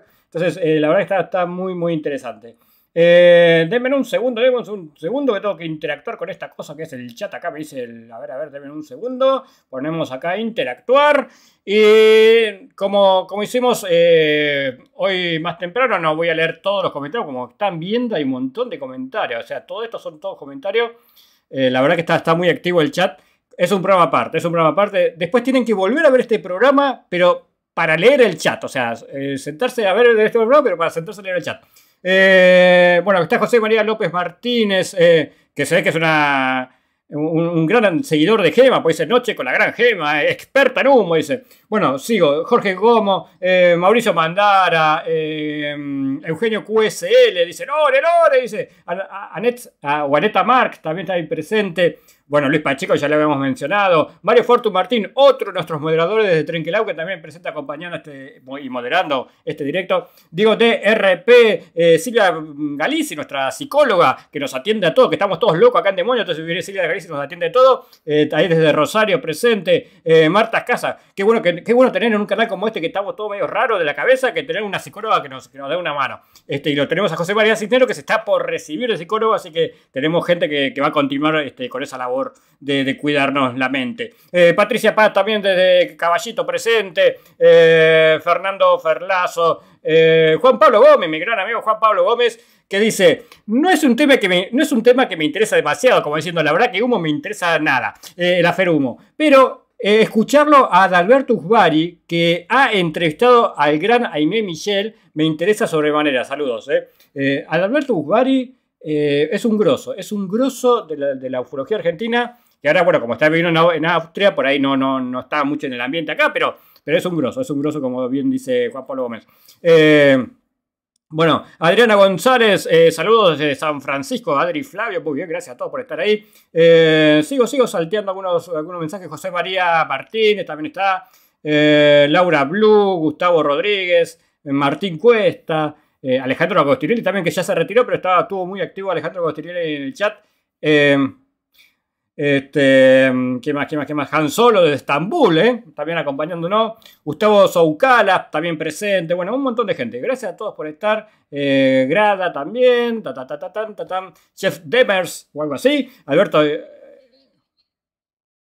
Ah, dice que acá me está soplando, pues no sale, no sale al aire, pero me está soplando por el interno Gema, que es mi querido chef de Demers. O sea, demasiadas personas, dice chef, demasiadas personas diferentes en todo el mundo que no se conocen tienen las mismas experiencias. ¿eh? Eh, bueno, entre tantos comentarios, porque hay un montón de comentarios. Chris Muñoz Figueroa también presente. Eh, bueno, y salteo Albert, Albert Sam, Albert Sam también presente ahí. y bueno, a todos eh, Cristian Rifo dice, me está soplando acá, que bueno, hay un montón, un montón, un montón, miren, miren, Karina López también ahí acompañando, bueno, un, montón de gente, ¿eh? bueno, salteo, salteo, ahí están todos, ta, ta, ta, ta, no, y si, sigue, siguen los comentarios. Así que gracias, gracias a todos por acompañar. Bueno, antes de volver con Lorena, primero voy a poner yo solito, yo solito. Eh, antes de volver con Lorena y los invitados, yo ya no voy a aparecer más por hoy. Eh, como siempre digo, recuerden, si te está, gustando este directo, que polémico directo de tema humo, déjale un buen me gusta, un buen like eh, ahí está el botoncito abajo. Por supuesto que sí, es la primera vez que estás en el canal, porque por ahí dijiste, uh, estoy, yo soy seguidor de Gema o de Alberto, y de caso, y por seguirlos a ellos me metí en este canal, eh, y te está gustando este canal, porque aparte tiene lucecita, ves que tiene lucecita de color atrás. Bueno, eh, tenés el botón para suscribirte, que eso nos ayuda muchísimo. Y por supuesto que si puedes apoyar a Demonios, tenés el botón para hacerte miembro, para, para unirte a Demonios, que como un pequeño, como un pequeño agradecimiento a todos los que están apoyando a Demonios sobre la membresía. Eh, y gente que colabora por fuera de la membresía, hay videos exclusivos para ellos. ¿eh? Hay casi 100, pero hay casi 100 videos exclusivos para ellos, inclusive, inclusive, inclusive una entrevista a solas con Dionisio Yanca que hicimos en Rosario cuando en noviembre estuvimos por allá con Dionisio, que en, el marco del Café Rosario, bueno, le hicimos una entrevista a solas de una hora hablando del caso eh, que está increíble, que solamente para los, los miembros del canal. Bueno, eh, y por supuesto compartan, compartan este, este video en todas las redes sociales y demás. Aviso parroquial, no tengo, acá en Demonios solemos hacer avisos parroquiales, pero como hoy es el último día de la semana no tenemos mucho aviso, pero les recuerdo, recuerden, acá en Demonios hacemos directos todas las semanas, de lunes a jueves a las 7 de la tarde, hora de Argentina, Chile, Uruguay, 23 hora de España. Reitero, hacemos directos todas las semanas, de lunes a jueves a las 7 de la tarde, hora de Argentina, Chile, Uruguay, 23 hora de España. Y, hay semanas como, la de, como, la, como esta semana que hay algún directo fuera de esos días, como hoy, que está la edición de Cafufo Rosario, como todos los meses. Y eh, último aviso parroquial, el domingo a la noche voy a estar nuevamente en el canal conduciendo, el canal de Istar Isis, eh, la Matrix del Misterio, porque Istar, que es una señorita muy viajera, cada vez que se va de viaje me deja la contraseña de su canal y me dice, entra al canal, hacete el directo vos, que hace el domingo todos los domingos 10 de la noche. Así que voy a estar conduciendo el domingo 10 de la noche en la Matriz del Misterio, como, como muchas veces hemos hecho antes. Eh, no sé de qué vamos a hablar, pero algo vamos a hacer el domingo de la noche. Eh, total, como el canal no es mío, puedo hacer un montón de cosas. Total, cualquier problema que se arregle después el Istar. Eh, bueno, nada. los dejo. Yo me despido, vuelvo con, con, los invitados, con Lorena y los invitados, con Gema y Alberto. Yo ya no aparezco nunca más por hoy. Este, nada, gracias por estar. Les mando un saludo grande. Y vamos con Lorena. Lorena, Lorena, sí, hola, hola, hola, para que aparezca tu cara. Eh, dame un segundo, dame un segundo. Ahí estamos con Lorena. Ahí le Abelito, ahí están. Hablar, no sé, están despacio, para hablarle un poco más despacio a Gema que no va a entender nada. No, Gema, Gema no entiende nada. Gema, eh, Gema, eh, déme un segundo. Déme un segundo. El idioma de un mita, imagínate. Pero... Sí que totalmente, si Gema está entendiendo humo y nos está explicando a nosotros, creo que ya está, puede entender cualquier cosa. Admiro, perdón. Empiezo a entender. Perdón, Gema, eh, ya última palabra y me retiro. Admiro a Gema porque yo apenas, apenas puedo hablar algo de, castellano, de español, y ella habla humo, o sea, no, no, habla humita, no sé cómo hace, pero habla humita y la verdad la admiro porque es, Debe ser una. No sé por qué no se enseña humita en la escuela. En, las escuelas se debería enseñar idioma humita. Bueno, listo, ya me fui. Chao, chao, chao. Todo se andará. Todo se andará. A este paso todo se andará. Eh, eh, eh, no, sé si se, no sé si la gente que está mirando el programa está entendiendo todo el jolgorio que hay acá, porque es, muy lindo esto que, que está sucediendo. Para mí son dos nuevos amigos eh, tanto Gema como Adalberto, tienen muy buena onda entre ellos, más allá de que eh, por ahí podemos decir que están en veredas opuestas. No sé si tanto, alguien ahí por ahí escribió que me parece que Adalberto no está tan de la vereda opuesta como se creía con el tema humo, pero es, muy lindo. Adalberto, eh, para los que no, no, lo, conocen, como me pasó a mí, él fue un gran, es un gran investigador, pero en, la época eh, de humo, estaba, está considerado como el mejor investigador de humo en Argentina. Eh, de hecho, fueron un montón de personas que me, llamaron de la, de la, vieja ufología argentina. Cuando hablo de viejo no estoy hablando de edad cronológica, que quede claro. Estoy hablando de viejo en la temática, que lo conocieron y que incluso habían perdido el rastro de, de Adalberto y se han puesto muy, muy contentos. Adalberto está bastante retirado de, todo lo que es la movida ufológica, porque bueno, está radicado allá, porque está teniendo algunos inconvenientes que no, vienen al caso hoy, porque la verdad que hoy es una noche muy linda para, para disfrutar, pero me, sorprendió. Gema ya, ya, yo ya tenía las referencias de Gema, pero Gema es una mujer que está eh, en la palestra en este momento, sobre todo con el tema humo. Pero Adalberto, hace muchos años que, ha dejado de ser un eh, activista, investigador eh, ufológico. Pero fue increíble, increíble cuando largué el flyer y me llamaron para decir, Adalberto Ugvari. Sí, ¿y dónde está? Bueno, está en Austria. Le digo, pero está. Vamos, gracias a todos los que están en el chat, gracias a los que están compartiendo el, enlace, gracias a los que están dejando sus comentarios, tanto a vos, Gema, como a Adal. Vean luego que queda colgado esto en Demonios, vean luego lo que es el chat. En los comentarios, si quieren después en la, en la, parte de abajo, en los comentarios, responder algunas preguntas, porque es el programa, son dos programas en uno.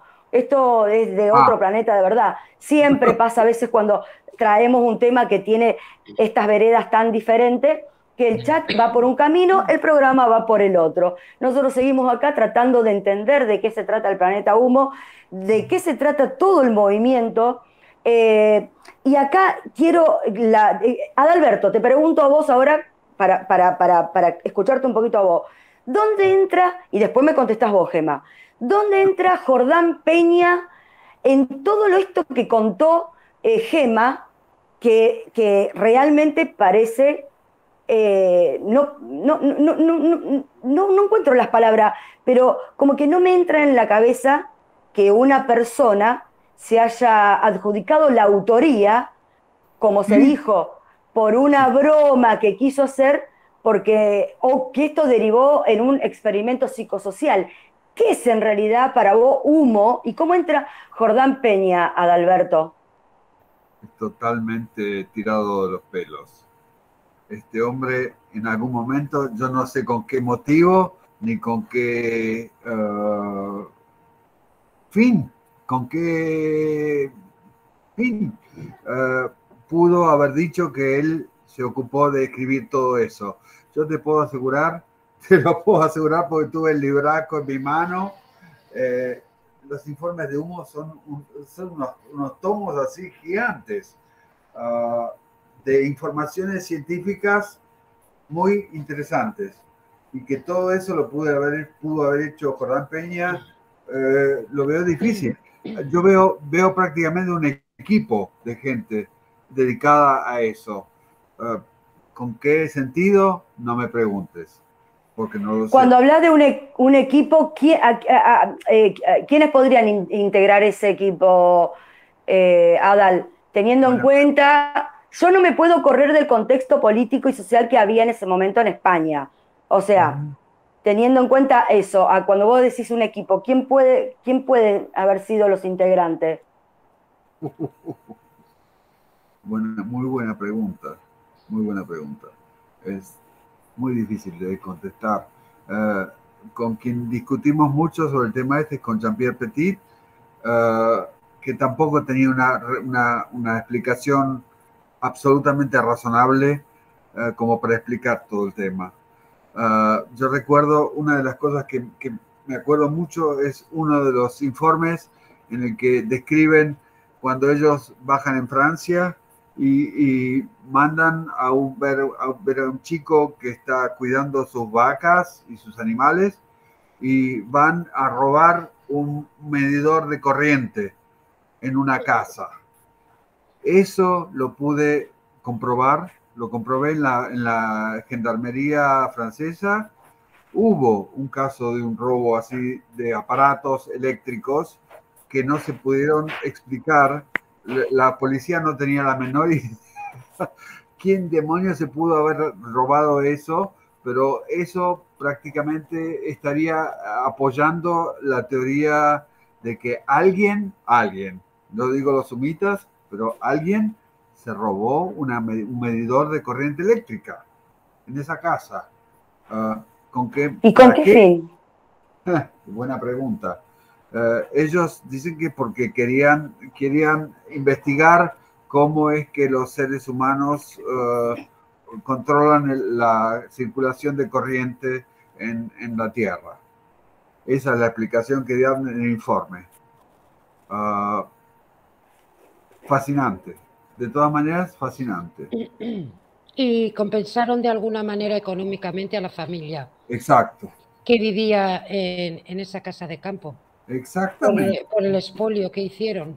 Y aparte, sí.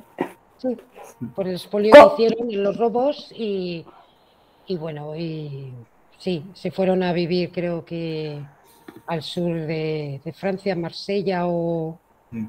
a una zona de estas y, y, casualmente los moradores de la vivienda pues tenían ascendencia española, casualidad, pero bueno, eso es eh, la zona, esta zona de, de Digne, la Yaví, pues había muchos aperos españoles trabajando en el campo. Esas, esas, cuestiones son los datos concretos que hay, que tenemos.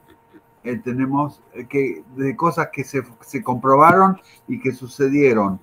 ¿Por qué sucedieron? ¿Quién las organizó? Ni idea. Pero... Otra, otra cosa curiosa, hablando del mismo informe, Adal, eh, recuerdas que es un poco escatológico lo que voy a decir, pero a la vez pues da, pues da otra pista de, de, de, qué casualidad, ¿no?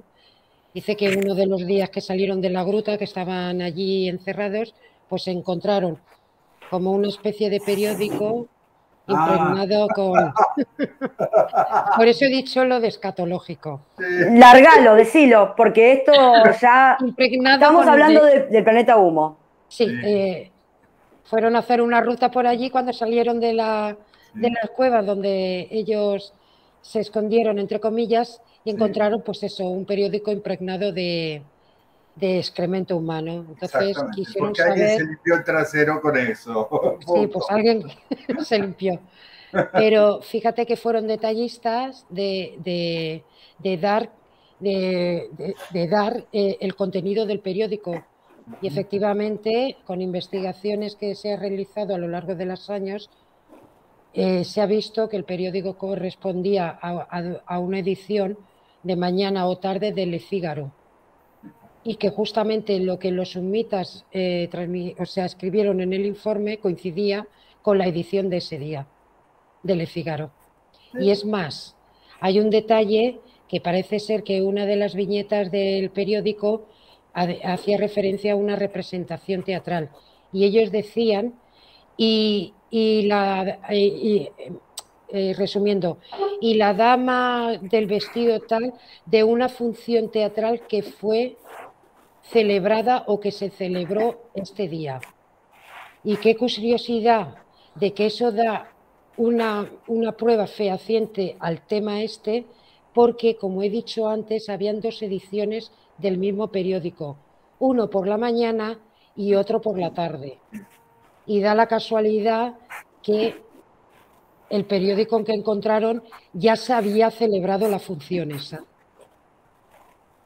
Eh, eh, el, el, es, es, loquísimo por donde se lo, se lo mire.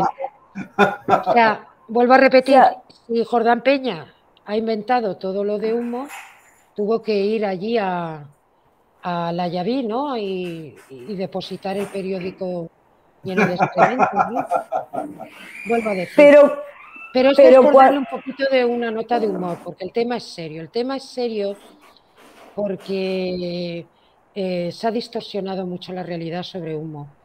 Y, a ciertos.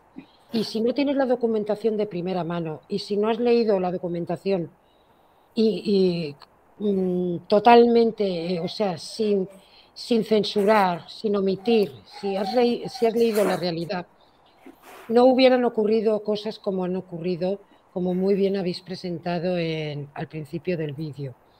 No hubieran habido gente sin escrúpulos como el, de- el fundador de la secta del Baes, que casualmente nunca mencionó el tema humo, pero se apropió del signo para hacerse pasar por un príncipe extraterrestre.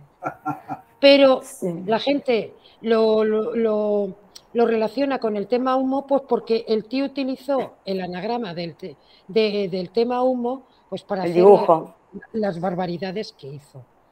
Pero nada Sí. tiene que ver. Igual que lo de la clínica de Cañuelas de Argentina. Eso quería, eso quería que Uy. también quizás vos, Alberto, me contaras un poco lo de la, lo la conexión de humo en Argentina, que incluso esta es una, una, una pregunta que me dejó hoy temprano Metaller, que en realidad, en realidad me dejó varias preguntas, pero como que el tema va de un lado para el otro y, y- y como que tampoco me quiero desviar demasiado, pero esa, esa pregunta me la, me la dejó Marcelo Metaller temprano, el tema de, de- de humo y la conexión en Argentina con la clínica esta Cañuela, en Cañuelas.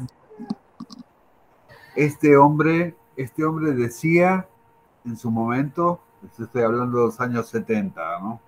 70, 70 y tantos, que él podía curar cualquier tipo de enfermedad con unos aparatos que le habían dado los extraterrestres. Ah, yo tenía un amigo que trabajó en esa clínica, ah, un médico que trabajó en esa clínica y que tampoco podía explicarse cómo demonios funcionaba todo el tema este, pero que era, era real, eh, que aparentemente la gente salía curada.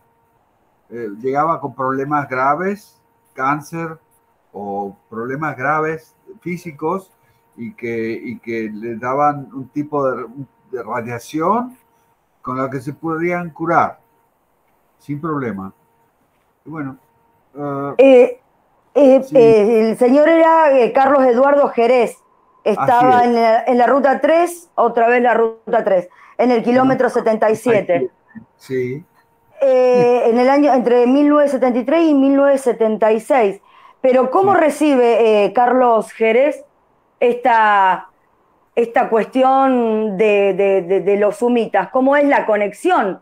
O sea, eh, Gema, ¿qué, qué, puede aportar? a, a- a- a través de Pedro Romaniu, porque empezó Sí. a, me- a- a dar a conocer el tema humo en Argentina. Entonces, a través de él, perfectamente este señor tuvo acceso al tema humo y, y- y, bueno, se valió de eso pues para crear una hipotética clínica basada en la medicina humita para curar el cáncer, que luego acabó como acabó.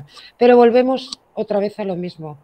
Son personas que, por una causa u otra, o personas sin escrúpulos, que utilizan un tema o, o algo para sus propios beneficios o para engañar o para manipular. Que Sí, totalmente. ver- Lo, lo de Eddie también. ver- y lo de Eddie, que nada tiene que ver con el tema humo. Entonces, lo que ocurre aquí es que ciertos detractores o ciertos investigadores in- intentan involucrar todos estos acontecimientos y, y darle una, una culpabilidad al tema humo. No, señores, el tema humo no tiene nada que ver con esto. El tema humo es una serie de documentos científicos, empíricos, que, eh, que con el tiempo vamos a poder ir estudiando y descubriendo que hay cosas acordes con la información de ellos y con nuestras propias evoluciones científicas y tecnológicas. Poco a poco lo iremos descubriendo. Pero que haya personas que utilicen el tema humo para fines deshonestos, sin escrúpulos o fines pues inclusive sexuales, como ocurrió pues con ciertas personas, pues eso no implica que el tema humo sea eso, ni mucho menos. Y esto es la desinformación que va creando un poco las nuevas generaciones. Porque claro, Cla- claro. por un lado, por un lado, eh, se intenta ser eh, eh, honesto con la información. Pero por otro lado, lo que vende más es el negacionismo, lo que vende más es el alarmismo, lo que vende más es que este ha hecho esto en nombre de tal, porque eso vende más, es más comercial. Sin embargo, el tema mm, de la, eh, de la documentación, ¿eso qué, qué, reporte, qué, reporte económico puede proporcionar? Ninguno. El estudio honesto de la información y la documentación de humo no te reporta ningún ningún mm, beneficio económico. Beneficio económico, al contrario, al contrario. Pero te aporta beneficios intelectuales. Y yo desde luego que descubrí el tema humo, mi vida ha, ido ha cambiado y siempre ha sido para mejor. No hablo económicamente, porque para mí es lo menos importante el tema económico, pero sí aspectos personales y espirituales porque me han ayudado mucho a entender un poco nuestro propio pasado y, a lo que podemos derivar si, si, lleva, si llevamos unas premisas adecuadas en nuestra propia evolución. Eso quizá también es de manera subliminal lo que se intenta transmitir a través de estos mensajes. E insisto por las nuevas generaciones y porque hay gente hoy en día, las redes sociales también, en parte pues si se utilizan bien puedes obtener muy buena información, pero hay oportunistas, charlatanes, eh, gente que quiere ganar dinero a costa de cuatro peregrulladas en poco tiempo y utilizan el tema humo pues para transmitir mensajes que nada tengan que ver. Mira, Wolf 424. Capilla está enojado. Que nada, que nada tenga que ver con, con el tema humo. O oportunista, pues de decir que, oye, que me he ido a España y he recogido que los humitas me han dado información exclusiva y luego te lo ves con un tocho de fotocopia de todos los informes que tenemos por aquí y los intenta vender en otro país. Cosas que dentro de lo, Dentro de lo escabroso también del tema humo, eh, se habló mucho del tema de, de, la conexión de humo con la supuesta mano cortada de la marquesa. La marquesa. ¿Qué hay también dentro de los... Sí, ¿qué, tiene que ver la marquesa con la mano cortada y con humo, chicos? Es que la marquesa tomó prácticamente, aparentemente, según lo que dicen los informes, eh, tomó a dos de los dos médicos, dos médicos que le ayudaron a hacer determinadas cosas y que cuando murió le, cortaron la mano a ella. Y bueno, todo ese a, tema a su hija. A su hija. A, su hija, que en realidad decían que los, a los que ella tenía hospedado eran dos alemanes que hacían experimentos y después salieron diciendo, por lo menos lo que se, por eso es un tema complejísimo, que no, que eran dos humitas viviendo con la marquesa. O sea, ¿qué hay? Estuve, estuve en, en, Albacete, estuve en la casa, estuve en el sótano. Estuve hablando con el gobernador de Albacete. En aquella época también, en el año 86, estuve hablando con el gobernador de Albacete. No quedó nada, No quedó nada y bueno, lo que sí que lo que sí que ha quedado que desde luego médicos nazis no, no eran, no médicos, esos sí que no eran, porque se ha hecho unas comprobaciones a través de investigación y se ha descartado esa posibilidad. Se ha descartado por fuente fidedigna de que esa posibilidad de que hubieran dos médicos nazis en aquella en casa de Margarita Ruiz de Liori no es verdad, no es verdad. O sea que, sí puede haber sido los sumitas que estuvieron con ella. Pues puede ser. Hay una cosa muy significativa cuando Margarita Ruiz, Ruiz de Liori fue juzgada aquí en, en, Madrid, creo que en el año 54, posteriormente a estos acontecimientos, mm ya se la tachó a ella de loca porque, claro, se quería tirar una cortina de humo sobre el tema. Era un tema bastante macabro, y sin explicación. Y cuando ya la, condenaron de que efectivamente ella había sido en, un, en una especie de, de, locura, esquizofrenia, mutilar el cadáver de su hija, dijo una cosa en el juzgado muy, mm, muy inquietante y dijo, algún día os enteraréis de la verdad. Y poco murió, poco después murió esta mujer, o sea, que poco se ha sabido, poco se ha podido entrever qué es lo que quería decir esa mujer con esas palabras. Por supuesto, algunos investigadores sumitas dicen, no, algún día, eh, algunos investigadores del tema humo dicen, no, algún día sabremos que estaba loca. Yo creo que por ahí no iba el tema. Por ahí, ella se llevó un secreto a la tumba y ella y ese secreto. Pero fue muy fulminante esa, esa frase y fue bastante contundente, bastante peculiar y contundente.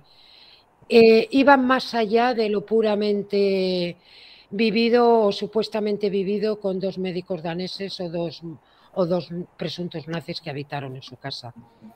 Aparte que en el informe pues explica perfectamente que, que fue por el estudio de un virus que parece que se escapó de allí y, bueno, tuvieron que mutilar eh, la lengua, la mano y la mano.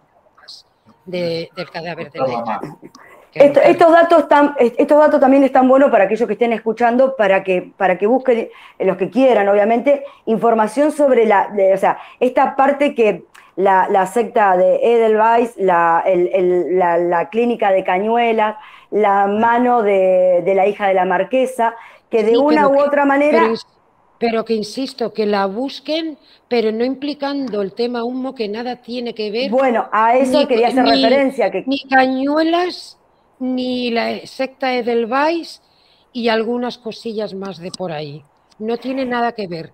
Que dejen stand-by a lo mejor el tema de la mano cortada porque nunca se ha llegado a, decir ni sí ni no. Pero siempre que haya eh, aspectos denigrantes hacia el ser humano, como es el caso de, de Eddie, de, con la secta del Vice, o, o, siempre que se juegue con la salud pública, como es en mm. el caso de la clínica Cañuelas, ahí no, que, no impliquen el tema humo porque no tiene nada que ver. El que, hay, el que alguien haya querido implicar este tema para unos beneficios propios personales, económicos o, simplemente por ego, no tiene absolutamente nada que ver con el tema humo. Igual que ocurrió aquí en España, desgraciadamente, en la provincia de Tarragona, que dos personas pues pues se dejaron, se suicidaron en las vías de un tren pensando que los sumitas los iban a llevar una vez después de muertos a, otro estado existencial. No tiene nada que ver con humo el que esa persona tuvieran problemas psicológicos y mezclaran sus propias fantasías, sus estados emocionales con el tema humo, porque nunca lo han pretendido. Y lejos de toda realidad, esos, los informes de humo se alejan totalmente de todas estas situaciones tan recambolescas que ha surgido a raíz del tema humo. Eso es muy eh, importante que lo tenga claro la gente que, que quiera estudiar o que se quiera adentrar en el tema humo. Es que la superchería humana es superior que inclusive a los mismos documentos sumitas, la superchería humana. Y el desequilibrio eh, también. Sí, sí, Adalberto. Dime. Eh, no, eh, actualmente se siguen recibiendo mensajes de los sumitas y a través de qué medio? Nada, nada. Lo último que vi lo presentó Serpa como diciendo que él tiene conocimiento de esos informes que llegaron los años 80 prácticamente. Desde entonces no escuché nunca más nada. ¿Tú cuánto tiempo hace que te retiraste del mundillo mita? Uy. Ah. 80 y tanto. 89. Mira, parece que hubo ahí un bypass, porque yo en el 89, ¿sabes a raíz de que... De... Además te lo expliqué perfectamente, te lo expliqué perfectamente, lo único que no lo recuerdas. Cuando vine de, de, una convención ufológica que hubo en, ahora en Segovia, en la provincia de Segovia, allí pues nos reunimos, pues mira, eh, Enrique de Vicente, Javier Sierra. Uy, pues, de Vicente. Enrique de Vicente, Javier Sierra, eh, pues los que éramos de la tercera, cuarta generación del tema humo, nosotros muy jovencitos, pues fíjate, creo que eh, Javier Sierra tendría 18 años, yo tenía 23, o sea que todos muy jovencitos y muy, muy tiernos. Bueno, pues a raíz de esa reunión ocurrieron unas cosas allí que luego yo tuve una conversación con Ignacio Bernaude para inclusive pues ya le querían echar el muerto a y mejor eh, perdón por la expresión, pero ya le querían echar el muerto a este a, a Jordán Peña, José Jordán. Peña. Y eh, Berché escribió un artículo en CDU, en Cuadernos de Ufología, eh, como médico estudiante en aquella época de psiquiatría, o sea que tampoco estaba avalado por un título, pero se apresuró a, decir que el tema Humo y el tema Jordán Peña era una paranoia compartida, con lo mm. cual pues ya lanzó ahí la espada de Damocles, lo que creó una confrontación inclusive con, con Antonio Rivera y Rafael Farrios con respecto al director de la de la revista Cuadernos de Ufología. Cuadernos de Ufología. Bueno, aquello, bueno, en el mundillo humológico o en el mundillo, en el corrillo de Darnaude, etcétera, mm. se especuló la posibilidad de que incluso nuestro amigo de Vicente fuera el que de alguna manera escribiera el artículo que luego firmara Berche. Pero bueno, eso quedó en el mundillo, en el mundillo ufológico. Demasiado loco para eso, demasiado loco de Vicente. el buen amigo. Buena persona, pero... Muy buena persona. Yo lo conocí, la primera vez que lo conocí fui, fue aquí en Benidorm, en Alicante, en 1985, en una conferencia que dio en Benidorm. Y, y fue la primera vez que conocí también a José Luis Jordán Peña.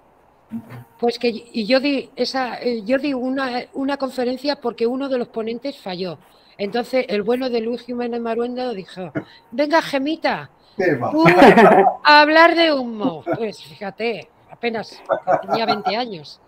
Y luego, después de esos tres días, que fueron tres días de conferencia, pues nos fuimos Antonio Rivera, Jordán Peña, Enrique de Vicente, Luis Jiménez Maruenda, y algunas más al Parque de Atracciones Acuático de Benidorm. Lo pasamos.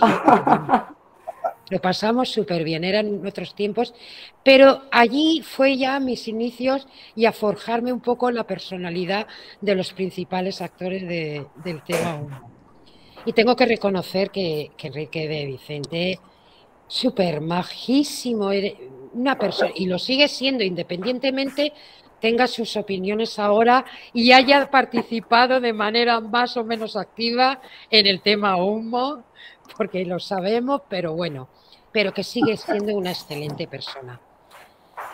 ¿Qué ocurrió? Eh, en el 88, en noviembre, yo fui a la reunión, al cónclave del asilo de, las semanas, eh, de, la, de la Sábana Santa, al, al famoso cónclave que se reunió, que inclusive fue Jean-Pierre Petit también, con su traductor francés, eh, que, ay, no me recuerdo el nombre de, del traductor, pero bueno, pero que se reunió también allí toda la plana mayor de, humólogos. Benítez, Rivera, Farriós, eh, Jordán Peña, que por desgracia pocos meses antes le había dado eh, un ictus, con lo cual su capacidad... Ataque cerebral tuvo, ¿no? Sí, sí, sí. Bueno, hay varias versiones de eso, pero vamos a dejarla en que le dio un ictus. Entonces su capacidad motora y, y verbal pues se vio muy perjudicada. Y bueno, y, allí pues este fue nuestro amigo común Ignacio Darnaude, que por oh. cierto, muy buena entrevista que le hiciste el, el 13 de septiembre de 1994. ¿eh? Muy buena entrevista que le hiciste al amigo Darnaude. Bueno, pues te comento allí y ya termino, ¿eh? no, me, explayo más como eh, en esa reunión pues ya surgieron cosas muy graves, muy graves que yo también mm, me vi un poco como coartada y coaccionada para decir, es un momento que emprendas un camino distinto en tu vida hasta que esta especie de ola, hasta esta especie de revelación de negatividad que se creó en el ámbito del tema humo y del grupo de Madrid y de los principales actores desapareciera. No es que cogiera miedo, pero era inmadura. Entonces yo fue el momento justo en que comprendí que tenía que madurar tanto psicológicamente como personalmente. Tenía que empezar a hacer mi vida profesional, tenía que mm, mm, pensar eh, hacer mi vida personal en formar o no formalizar una familia y cosas así, pues que me dejaron un poquito al margen, pero fue la mala sensación que obtuve en noviembre de 1989 en esa reunión del Hotel Sanville de Madrid, la que no me alejó del tema humo porque nunca, nunca estuve alejada, pero sí quise cambiar de ambiente un poco. Que sabes perfectamente que en esa reunión ya Pierre Petit tuvo una abducción psíquica, ¿no? Ajá. Ah, ah bueno. Ajá. Nuestro amigo Jean-Pierre Petit. Nuestra amiga Jean-Pierre Petit. Es muy importante y yo lo digo por las nuevas generaciones. Por las generaciones. ¿Pero qué, significa una abducción psíquica, Gema, para comprender un poco? Pues mm, él en un momento dado de la reunión se sintió indispuesto. Entonces eh, dice que, bueno, junto con su, con su traductor, y creo que fue Antonio Rivera, lo acompañaron a la, a, la habitación del hotel, porque eh, la tertulia fue en un salón del hotel y luego teníamos todos, pues una, los que íbamos de fuera, pues nos hospedábamos en el mismo hotel. Él se sintió mal y por lo visto, pues se acostó, se durmió y parece que dos sumitas le fueron a visitar. Ajá. Ah. Dos sumitas. Yo creo la versión de Jean-Pierre Petit porque yo creo la versión de Jean-Pierre Petit. Hay, hay documentación al respecto y yo prefiero que se lea primero la documentación, antes, porque a lo mejor a lo mejor no soy la persona idónea de hablar de este, de este tema. Aunque Jean-Pierre Petit lo ha explicado, lo ha explicado en mil y un, en vídeos que se pueden localizar en YouTube, pero yo fui, eh, o sea, yo fui testigo de lo que sucedió allí y sí que fui testigo de la indisposición de Jean-Pierre Petit porque inclusive Dernaude es que Jean-Pierre Petit, justamente ahora que quería que tú hablar con él, se ha sentido indispuesto y se tiene que ir a la habitación. O sea, que de eso fui testigo. Y luego ocurrió por lo que, lo que tuvo que ocurrir. Pero parece ser que Jean-Pierre Petit ya ha tenido tres abducciones. Una siendo un niño de 10 años, otra en el Hotel Sambi y una tercera en casa del mismo Rafael Farrios. Pero siempre abducido por humitas o por eh, la primera vez eh, creo que fueron por los típicos grises, pequeños cabezones, cuando era pequeño. Pero bueno, que es un tema que ya te digo, él tiene una bibliografía extensa, se puede localizar en la red y a lo mejor ya te digo que no soy la persona más idónea porque no tengo un conocimiento exhaustivo. Sé que ocurrieron las tres adopciones, una de ellas porque yo fui no testigo de la abducción, pero sí fui testigo de la descomposición que sufrió el hombre en el hotel, en el hotel Sambi. Qué interesante. Eh, son cosas que incluso todavía hacen a la temática humo más espectacular. Pero eh, volviendo a la, pregunta que había hecho antes, eh, y como para ya más o menos ir cerrando lo que es esta, esta charla de hoy, que como dije y lo dije desde el principio, eh, me parece que da para, para muchísimo, para muchísimo, para muchísimo más, porque son muchas, muchos años de historia eh, sobre lo que es el planeta humo, mucha eh, investigación, cada cual de la rama que haya elegido investigar. O sea que son, son temas que por más que alguno lo quiera determinar como fraude o realidad, creo que es muy básico determinarlo, eh, creo porque creo o no creo porque no creo. Me parece que son temas para argumentar y para, para, seguir, para seguir hablando, pero muchísimo. Te pregunto, Gemma, eh, tu último libro, tu libro, Mensajes 2016-2019, ¿qué tiene que ver con los últimos mensajes de los sumitas? Pues que, está recopilado toda la información de documentos sumitas desde el año 2016 al 2019. ¿Cuándo fue la, ¿Cuándo fue la última vez? Eh, ¿Quién fue la, última persona que recibió algún mensaje de los sumitas y qué verdad o qué mentira hay eh, en, los famosos Twitter? Eh, vamos a ver. Aquí no es cuestión de qué verdad y qué mentira. yo insisto mucho, es cuestión de leer el contenido de la documentación y discernir lo que lo que eh, es desechable o lo que puede ser verdaderamente no desechable. ¿Qué vínculo puede haber en estos, eh, en estos últimos mensajes? Estos últimos mensajes que, ojo, que ocupa 400 páginas de un libro.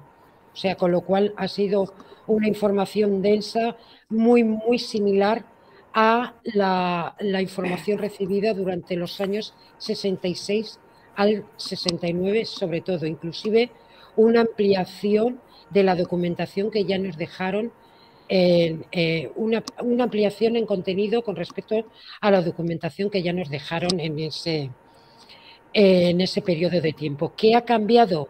Pues la forma de comunicarse. Perfectamente una forma acorde con los tiempos actuales. Hoy en día es obsoleto que escribir algo mecanografiado y mandarlo por correo electrónico, porque ya casi es casi no existe. ¿Cuál es el medio más difundido? ¿Cuál es el medio más rápido hoy en día para llegar la información? Pues el correo electrónico y las redes sociales. Pero, pero pregunto desde, sí, obviamente, ¿quién manda una carta? Hoy nadie, ni siquiera, ni siquiera uno le, escribe una carta de amor a su pareja. O sea, ahora mandás mensajito de texto, emoji o mandás mail y lo que sea, es verdad. Totalmente de acuerdo en que el medio de comunicación masivo que hoy tenemos es todo lo que tenga que ver con la tecnología. Pero pregunto, si vos usás tecnología, eso tiene un, método de saber de dónde salió ese mensaje. Creo que el IME o el IP, los que, los que saben de tecnología que están en el chat, que me lo pongan, si es el IP o el IME. Sí, Entonces, es se puede... el IP de un ordenador, pero oye, los IP se pueden clonar perfectamente. O sea que para entender un poco el tema de los mensajes... Pero es que no, no hay que, vamos a ver, ¿por qué nos centramos eh, no en el mensaje, sino en el medio? Por eso, el, el, medio sería el Twitter, por ejemplo. En los años 60, el medio era una máquina de escribir. Sí. Y mucha gente ha perdido el tiempo en buscar quién era el dueño de esa máquina de escribir. Ha perdido el tiempo porque nunca se ha llegado a saber quién es el dueño de esa máquina de escribir. ¿Por qué? Porque la persona que se atribuía a ser dueña de esa máquina de escribir, cuando le preguntaron dónde está la máquina de, escribir, su contestación es que se la llevaron. Se la llevaron y no la tenía. Y ya no la tiene. Con lo cual no demuestra nada. ¿Qué ocurre hoy con la tecnología? Hoy con la tecnología eh, se pueden duplicar IP, se pueden hacer copia de esto. Un hacker puede hacer eh, filigranas para que tú no detectes el origen de la fuente. Pero eso no quiere decir, eso no quiere decir que el mensaje eh, sea distinto. O sea, yo es que no me preocupo en averiguar la IP.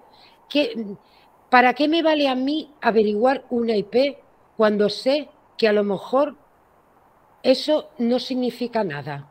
¿Quién está detrás de la IP? Esa. ¿O dónde puede estar situada la IP? Te puede estar situada en Francia, en España, da igual.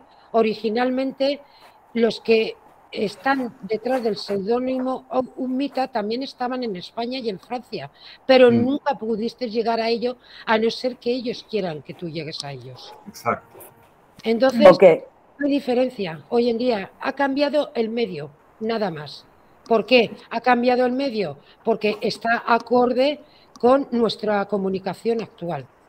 También ha cambiado un poquito el objetivo.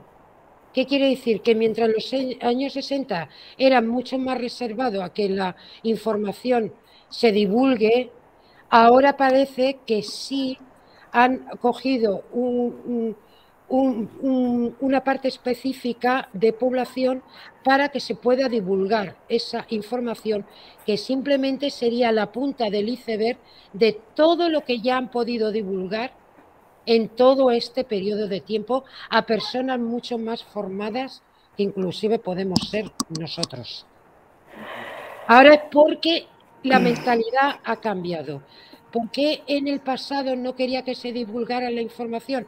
Porque ellos estaban más desprotegidos, no conocían tanto las técnicas de protección hacia ellos mismos que, que, podían tener en la Tierra. Hoy en día, pues nunca se han ido de aquí. Entonces, se sienten protegidos y por lo mismo por su ubicación o por donde pueden estar o porque los medios actuales, algún, nuestros, algunos siguen siendo obsoletos para detectar a lo mejor una base que puedan tener en un determinado continente.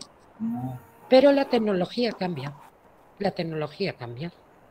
Adalberto. Adalberto.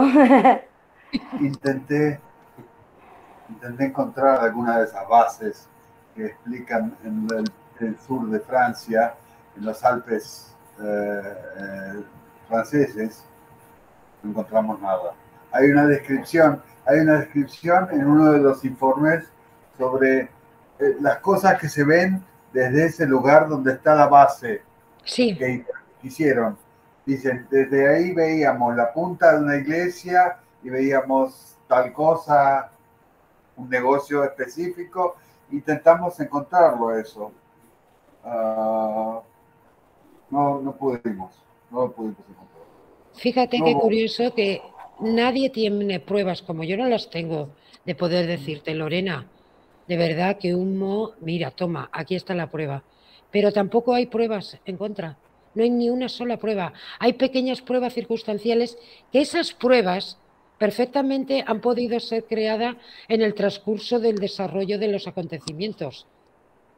Las pruebas de, eh, la parte detractora posiblemente han podido ser creadas con el desarrollo de los transcursos de los acontecimientos.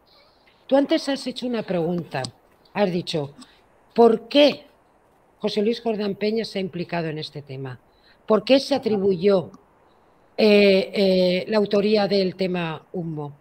Yo antes, en una de las fotos que os mandé el otro día también, hay una foto de una carta de Jordán Peña que dirige a Rafael Farrios, en la cual especifica que tuvo que decir su verdad por mandato de ellos.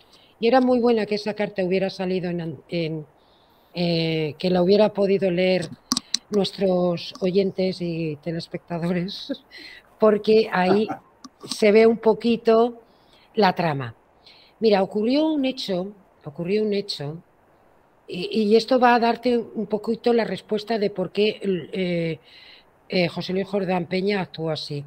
Mira, hubo en el año 91, eh, Javier Sierra estuvo dando unas conferencias sobre el tema humo. Entonces, en esas conferencias hubo una, una señorita o señora que se le presentó y le dijo a Javier Sierra que, él, eh, que ella era secretaria del tema humo y que Jordán Peña la había utilizado eh, para otros medios y que la había involucrado de alguna manera activa en el tema humo. Habían concretamente dos señoras. La versión femenina del mecanógrafo. Sí, pero ni eso ni eso porque estuvieron involucradas simplemente en llevar dos cartas sumitas, una en el año 83 en unas conferencias y otra eh, eh, eh, posteriormente creo que fue a, es que todo de cabeza, a, creo que al doctor Aguirre. Pero bueno, te lo vengo a comentar porque, claro, esta señora dijo, pues le comentó a Sierra de que Jordán Peña la había utilizado para, para cosas personales que no voy a mencionar porque cada uno de su vida privada hace lo que quiera, pero en, pocas palabras te puedo decir que Jordán Peña en parte utilizó el tema humo para embaucar de alguna manera a ciertas personas y en este, en este caso concreto a dos personas, o sea que ni siquiera él estaba involucrado en el tema humo. ¿Qué se hizo? Pues poco después de estas conferencias, con el buen amigo Enrique de Vicente, pues decidieron quedar con esta señora y con Javier Sierra e ir a casa de Jordán Peña. Con la sutileza que le dijo a a, este, a Javier Sierra de que se escondiera y grabara toda la conversación, porque le querían sacar a José Luis Jordán Perña sobre la, la verdad de su, de su involucración en el tema humo. Wow. Y en su defecto, si él no decía la verdad sobre el tema, pues ellos, ellos iban a sacar la verdad de la vida privada de José Luis Jordán Peña. O sea, deshonestos, una parte. Una extorsión. Esto, ¿eh? Una extorsión. la palabra es eso. La palabra, y lo digo claro, y no me escondo. Total, que no sacaron nada, que no sacaron nada. En parte, en parte es la palabra, yo no quería, yo no quería utilizar. O sea que hoy en día eso está penado perfectamente pero eran otros tiempos y tú te podías meter en casa del vecino, grabarle, sacarle información de tu vida privada a costa de que le dijeras cuál era su participación en el tema humo. Y que si tú no sacabas esa información, pues en contraposición, pues ibas a hablar de su vida privada. Al final, eh, parece ser que José Luis Jordán Peña se puso muy nervioso y, y les dijo, pues en pocas palabras, que, eh, era lo de la CIA, tal y cual. Y poco después a eso, de, poco después de este incidente y de estas grabaciones y de estas, entre comillas, extorsiones, fue cuando José Luis Jordán Peña se atribuyó la autoría del caso Humo. ¿Pero por qué lo hizo? Para que lo dejaran en paz. Para que lo dejaran en paz. Porque iban todos como locos.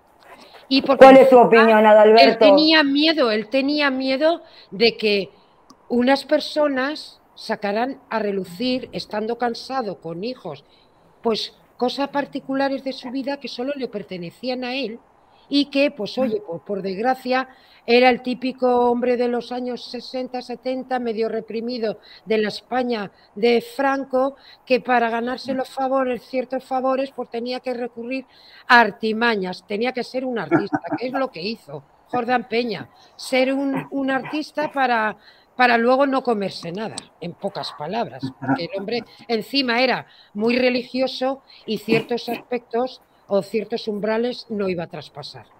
Adalberto, ¿qué tenés para decir de todo esto? ¿Qué tengo para decirle? lo, puedo, lo puedo confirmar solamente. Que fue, como dice Gemma. Ha ocurrido así. Fue, así. Peña se, se autoinculpó por la presión mediática de ciertos investigadores. Y porque ¿Pensás lo mismo, Adalberto? seguramente, sí. Yo pienso que Jordán no tenía el, bagaje intelectual como para hacer los informes. O sea que esa información es, es, rindiculada. No, no, es más, faltado él pudo participar con algunos informes falsos, inclusive compinchado con ciertos estamentos gubernamentales, pero para dar caza a los mismos sumitas, ¿eh? Para, para, para, ir, para ir cerrando un poquito, porque bueno, eh, ya estamos. Está, eh, como que para ustedes es muy tarde, para mí no tanto, pero para ustedes sí es muy tarde. Eh, quiero, quiero una reflexión mm, corta de ambos en cuanto al, al planeta humo, al caso humo y a todo lo que, lo que hay detrás de todo esto. Adalberto, Comenta cuál es tu opinión. Sí, es un montaje, es un montaje muy bien hecho, muy bien hecho y en el que tuvieron que haber participado varias personas al mismo tiempo eh, y que hubiesen trabajado juntas como para engañar a muchísima gente en todo el mundo. Eh, hay cuestiones de idiomas, hay cuestiones de física, hay cuestiones de astrofísica, el, tema de, la, curvatura del espacio, cómo, cómo hacían aparentemente, como dicen que hacían los humitas para llegar a la Tierra, eh, son, son cuestiones que tienen que ver con física de avanzada. Eso es lo que me dijo Petit, eh, hablando de eso también, ¿no? Eh, me dijo que es, es una cuestión demasiado innovadora como para que lo hayan inventado. ¿Quién lo puede haber inventado? ¿Quién lo puede haber inventado? Ni idea. Alguien lo tiene que haber inventado.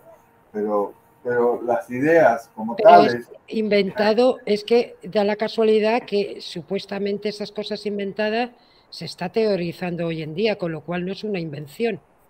Es una premonición en este caso, ¿no crees? Que alguien en los eh, años 60 tuviera la lucidez psicológica mental para predecir cosas que ahora se están teorizando como posiblemente reales, eso tenía que tener una bola, una bolita de cristal. Tenía que tener una bolita de cristal. Y yo creo que el objetivo este no era engañar a nadie. ¿A quién han engañado los informes de humo? Si lo que están dando eh, es información científica, sociológica, filosófica, teológica, ontológica y antropomórfica. ¿A quién han engañado? A mí no me han engañado. El que yo considere que analizando la situación, analizando los informes y analizando ciertas experiencias personales y comunes pueda tener una fuente de arriba o exógenas, eso también lo puedo defender. Pero, ¿a quién, por qué, ¿a quién han engañado? A mí no me han engañado. La que me engañaría en caso sería, en todo caso, yo misma creyendo una cosa que no es. Pero los informes como papel no engañan a nadie. Al contrario, están eh, dando, eh, están dando pie a que tú eh, investigues, a que seas em, constante, a que seas autodidacta, porque me han despertado ser autodidacta en muchas materias que por no estudiarlas, porque mi carrera profesional y, mi carrera universitaria derivó por otros derroteros, yo no soy científica y ahora yo necesito el apoyo de un buen grupo amigo mío que tengo y de un científico y de un médico que me ayuden a comprender los escritos. O sea, que aquí no, nos engañamos nosotros mismos, pues eh, dando interpretaciones que no están escritas, buscando culpables en el limbo, culpables que no los hay, en vez de adentrarnos en una, eh, en una lectura que puede aportar muchos beneficios a nivel intelectivo y muchos beneficios si se van cuestionando y se van demostrando con el tiempo ciertas, ciertas verdades que ellos nos plasman desde los años 60. Por, eso, por eso, Adalberto, o sea, volviendo un poco a, Adal, eh, ¿vos crees que esto no, no surgió de una broma, como se dijo, de Jordán o de un experimento psicosocial? Hay mentes detrás de todo esto. Hace poco es lo que les iba a decir, hace un par de semanas escuché un informe en la televisión en el que hablaban del tema de la curvatura del espacio. Y me quedé pensando, me quedé pensando, eso lo leí ya en alguna parte. Y hace años, hace muchos años lo leí. Ah, ¿En dónde? Aquí, en los informes de humo. Mm. Informes de humo. Pues igual que en el 2015 eh, se ha empezado eh, a, a, teorizar con la teoría de la expansión del espacio y a su vez una oscilación eh, en, en, el espacio que los informes sumitas en los años 60, en el 66 concretamente, ya se hablaba de ello, y que incluso eh, Jean-Pierre Petit eh, da origen a esta teoría del 2015 de, de la expansión del espacio con contracciones eh, temporales que van disminuyendo con el tiempo da origen a lo que los sumitas en un momento dijeron de descubrir el universo gemelo, por ejemplo. Eh, por ejemplo. Eh, Eh, Adalberto, entonces con, con, estas reflexiones que por ahí está haciendo Gema en estos minutos, eh, ¿es posible que los sumitas puedan estar entre nosotros? ¿Cuál es tu opinión? Es posible, es posible, por supuesto que es posible, es posible. Si todo, si todo es real, lo que describen en los informes, no lo sé, no lo sé, no lo pude comprobar. Comprobé algunas cosas y otras no las pude comprobar, simplemente porque no me dio el tiempo. No me dio el tiempo y no podía dejar mi vida. Estaba en la universidad en aquella época estudiando y, no podía tomarme dos años para investigar todo este tipo de cosas. Pero, pero hubo varias cosas de las que yo pude comprobar personalmente que eran como decían los informes. Eh, Adal, faltó que te preguntara algo, algo que quieras decir antes de, ya ir cerrando y para que Gema también nos diga dónde poder encontrarla. Sí. Ah. Ah, no sé qué es lo que hay detrás de todo esto, pero sé concretamente, en base a lo que yo sé y lo, que puedo estudiar, mis estudios personales, que si hay, una, hay, alguien detrás de todo esto, tiene que haber sido una agrupación, tiene que haber sido un equipo de gente eh, especializada en determinados, uh, determinadas ramas de la ciencia. Si no, es imposible. A mí, personalmente, a mí, personalmente, jamás me hubiese ocurrido tanta cosa. Eh, había informes que me ponía a leerlos y me quedaba fascinado por, por la lógica que había detrás de todo el tema. Eh, el informe del Pluricosmos, por ejemplo, me, me, me, dejaba trastornado uh, por la lógica que había detrás de todo eso. O sea, que hay algo, tenemos, hay algo, evidentemente hay algo detrás de todo esto, no sabemos qué todavía y quizá algún día se sepa. Gema, ¿dónde puede encontrarte eh, aquellos que quieran conocer sobre tu, tu, libro y aquellos que quieran interiorizarse más un poco sobre el caso Humo? Mira, yo tengo una página privada en Facebook que se llama Humo, una realidad. Y ahí solo solo, solo se debate sobre el tema humo. No doy pie al tema de ovnis en general, sino que soy muy explícita y solo de, se debate del tema humo. Eh, se incorporan informes, se debaten nuevos descubrimientos. Eh, ahora estoy en un proyecto un poco futuro, quizá de, de, de ciertas pruebas circunstanciales, extrapolarlas y hacer alguna, algún evento, alguna publicación, sobre todo en Facebook, en el grupo este y luego en Twitter, pues en Gema Lozano. En Gema Lozano. El libro Perfecto. en Amazon y, poco más. No tengo ¿Dónde se puede comprar el libro? En Amazon lo puede. ¿Cómo se llama el libro? Eh, Humo, último mensaje 2016-2019. Bueno, la verdad que para mí fue una noche eh, vertiginosa. Fuimos de un lado para el otro, eh, me voy con más preguntas que respuestas. Me encanta que suceda eso porque es el motivo para una próxima charla con cualquier persona que tenga ganas de hablar del fenómeno. Eh, quiero darles las gracias a los dos. Es muy tarde allí, ya son las tres menos, Sí, 3 menos 20. 3 menos 20 de la madrugada. Eh, gracias, Gema. Gracias, Adalberto. Eh, Adalberto, quiero contar algo con Adalberto desde que nos eh, conocimos a través de, de WhatsApp, obviamente. Eh, charlamos, pero muchísimo, muchísimo, muchísimos mensajes por día. un placer haberte encontrado un placer que hayas estado eh, de nuevo. Obviamente que la gente quiere escuchar más sobre vos. De hecho, el chat está pidiendo a gritos, quiero a Adalberto, quiero a Adalberto.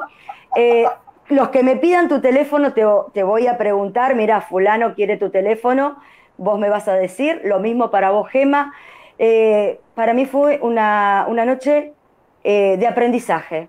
No tengo postura tomada sobre, sobre, sobre nada, eh, tampoco quiero tenerla y espero que la gente que está ahí, gracias a todos los que están en el chat, que es un montón de personas que han dejado sus comentarios, no los puedo leer, veo que algunos se enojan entre sí, bueno, creo que el fenómeno es esto, creo que el, fenómeno... Que no sea un, tema de disputas, por favor, que ya... Y siempre, siempre el fenómeno, siempre el fenómeno trae tema de discordia, yo no lo veo mal, creo que está bueno esto de poder eh, charlar y mostrar cada uno su punto de vista. Eh, Gracias Poli, gracias Carlos Yurchú, gracias Marina por eh, moderar, igual que Poli, y por los informes. Gracias a todos, a todos, a todos los que nos acompañaron esta noche eh, en Instagram, en Facebook y en YouTube. Nos encuentran como Café Ufológico Rosario.